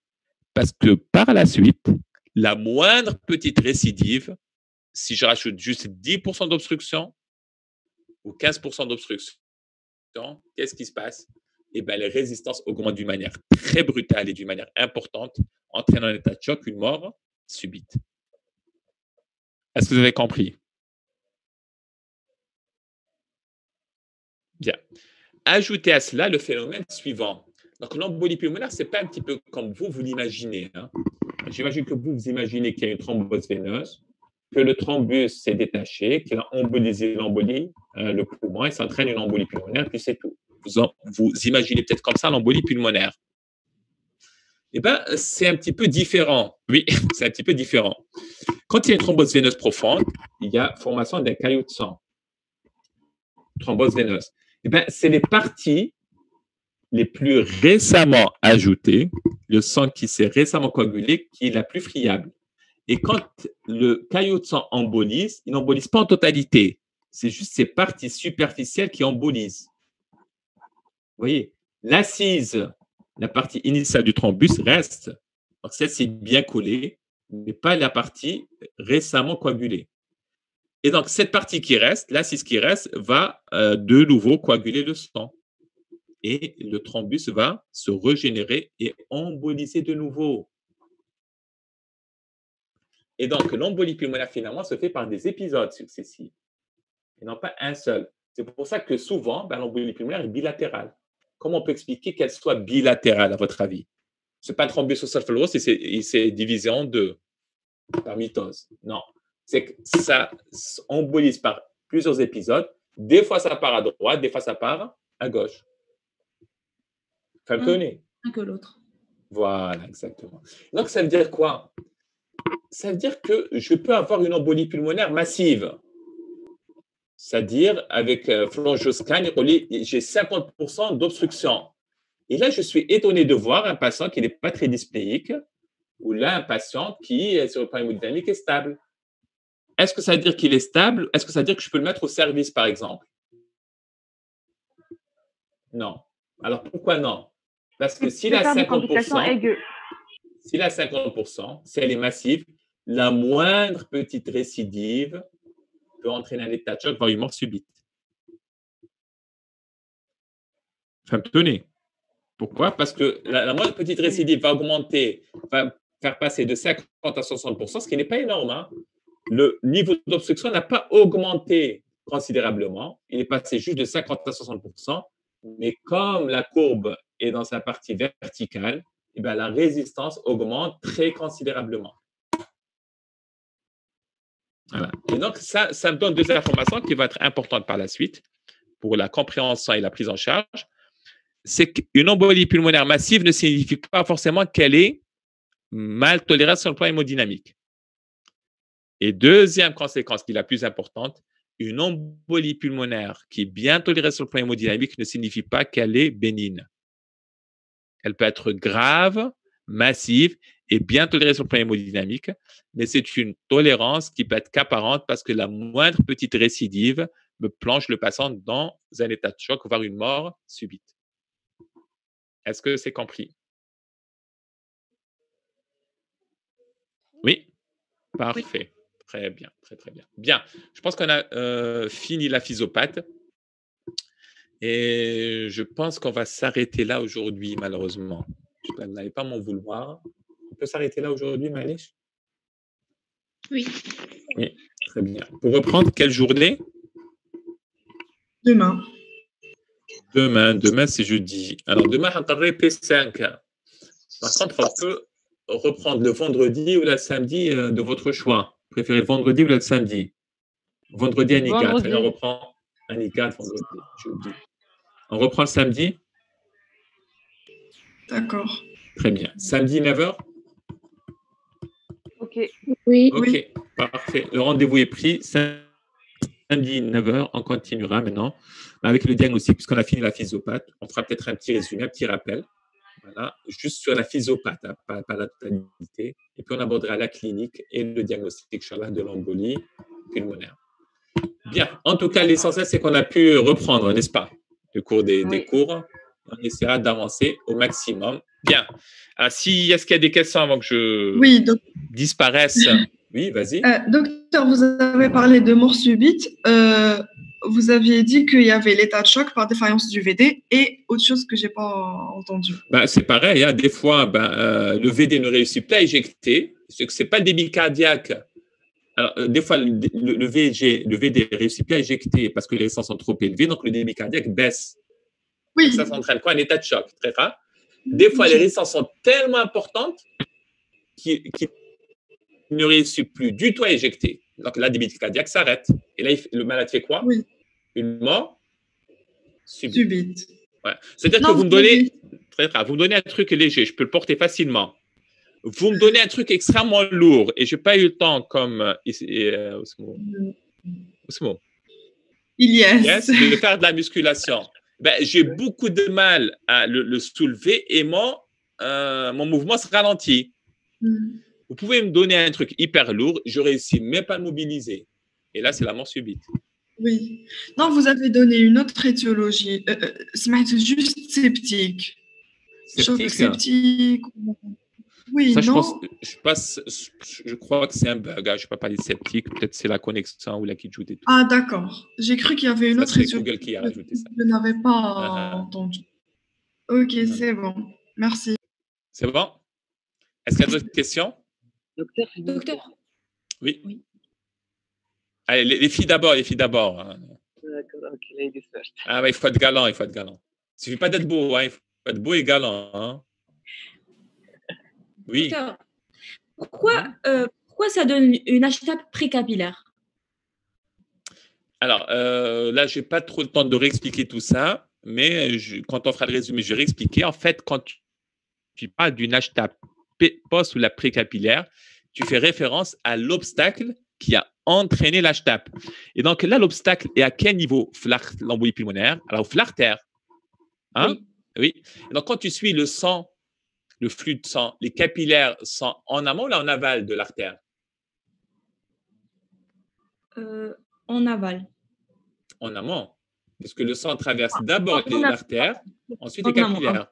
Exactement. Et donc, puisque l'obstacle se situe en amont des capillaires, c'est une HTAP pré-capillaire. Si tu as un RM, ou du moins au stade précoce, l'obstacle se situe où? Au niveau de la valve mitrale.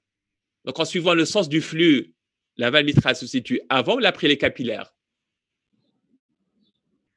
Après. Après. Donc, c'est une HTAP comment? Post-capillaire. Post-capillaire.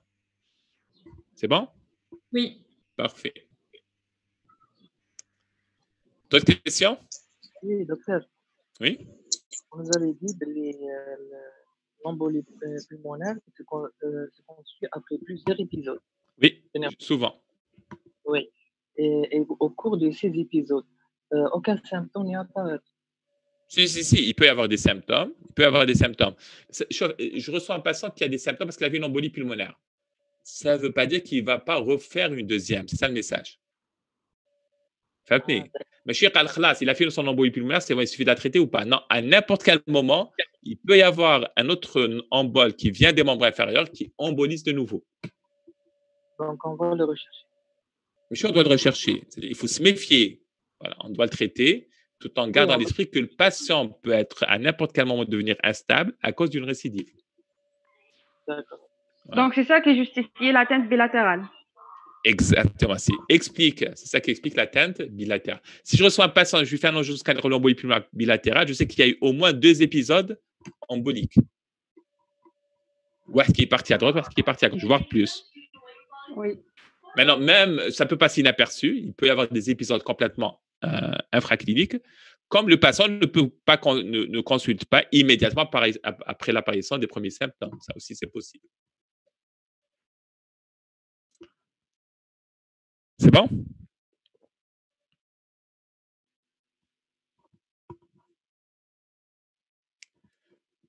Bien, alors si c'est bon, on va clore la, la, séance, cette séance d'aujourd'hui, pour la reprendre, Inch'Allah, comme on l'avait dit, samedi à 9h.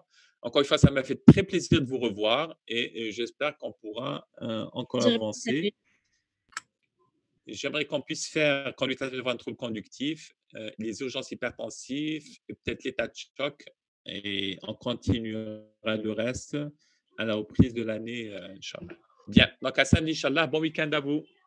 Merci, docteur. Merci. Merci, docteur. au revoir. Bon week-end. Au revoir.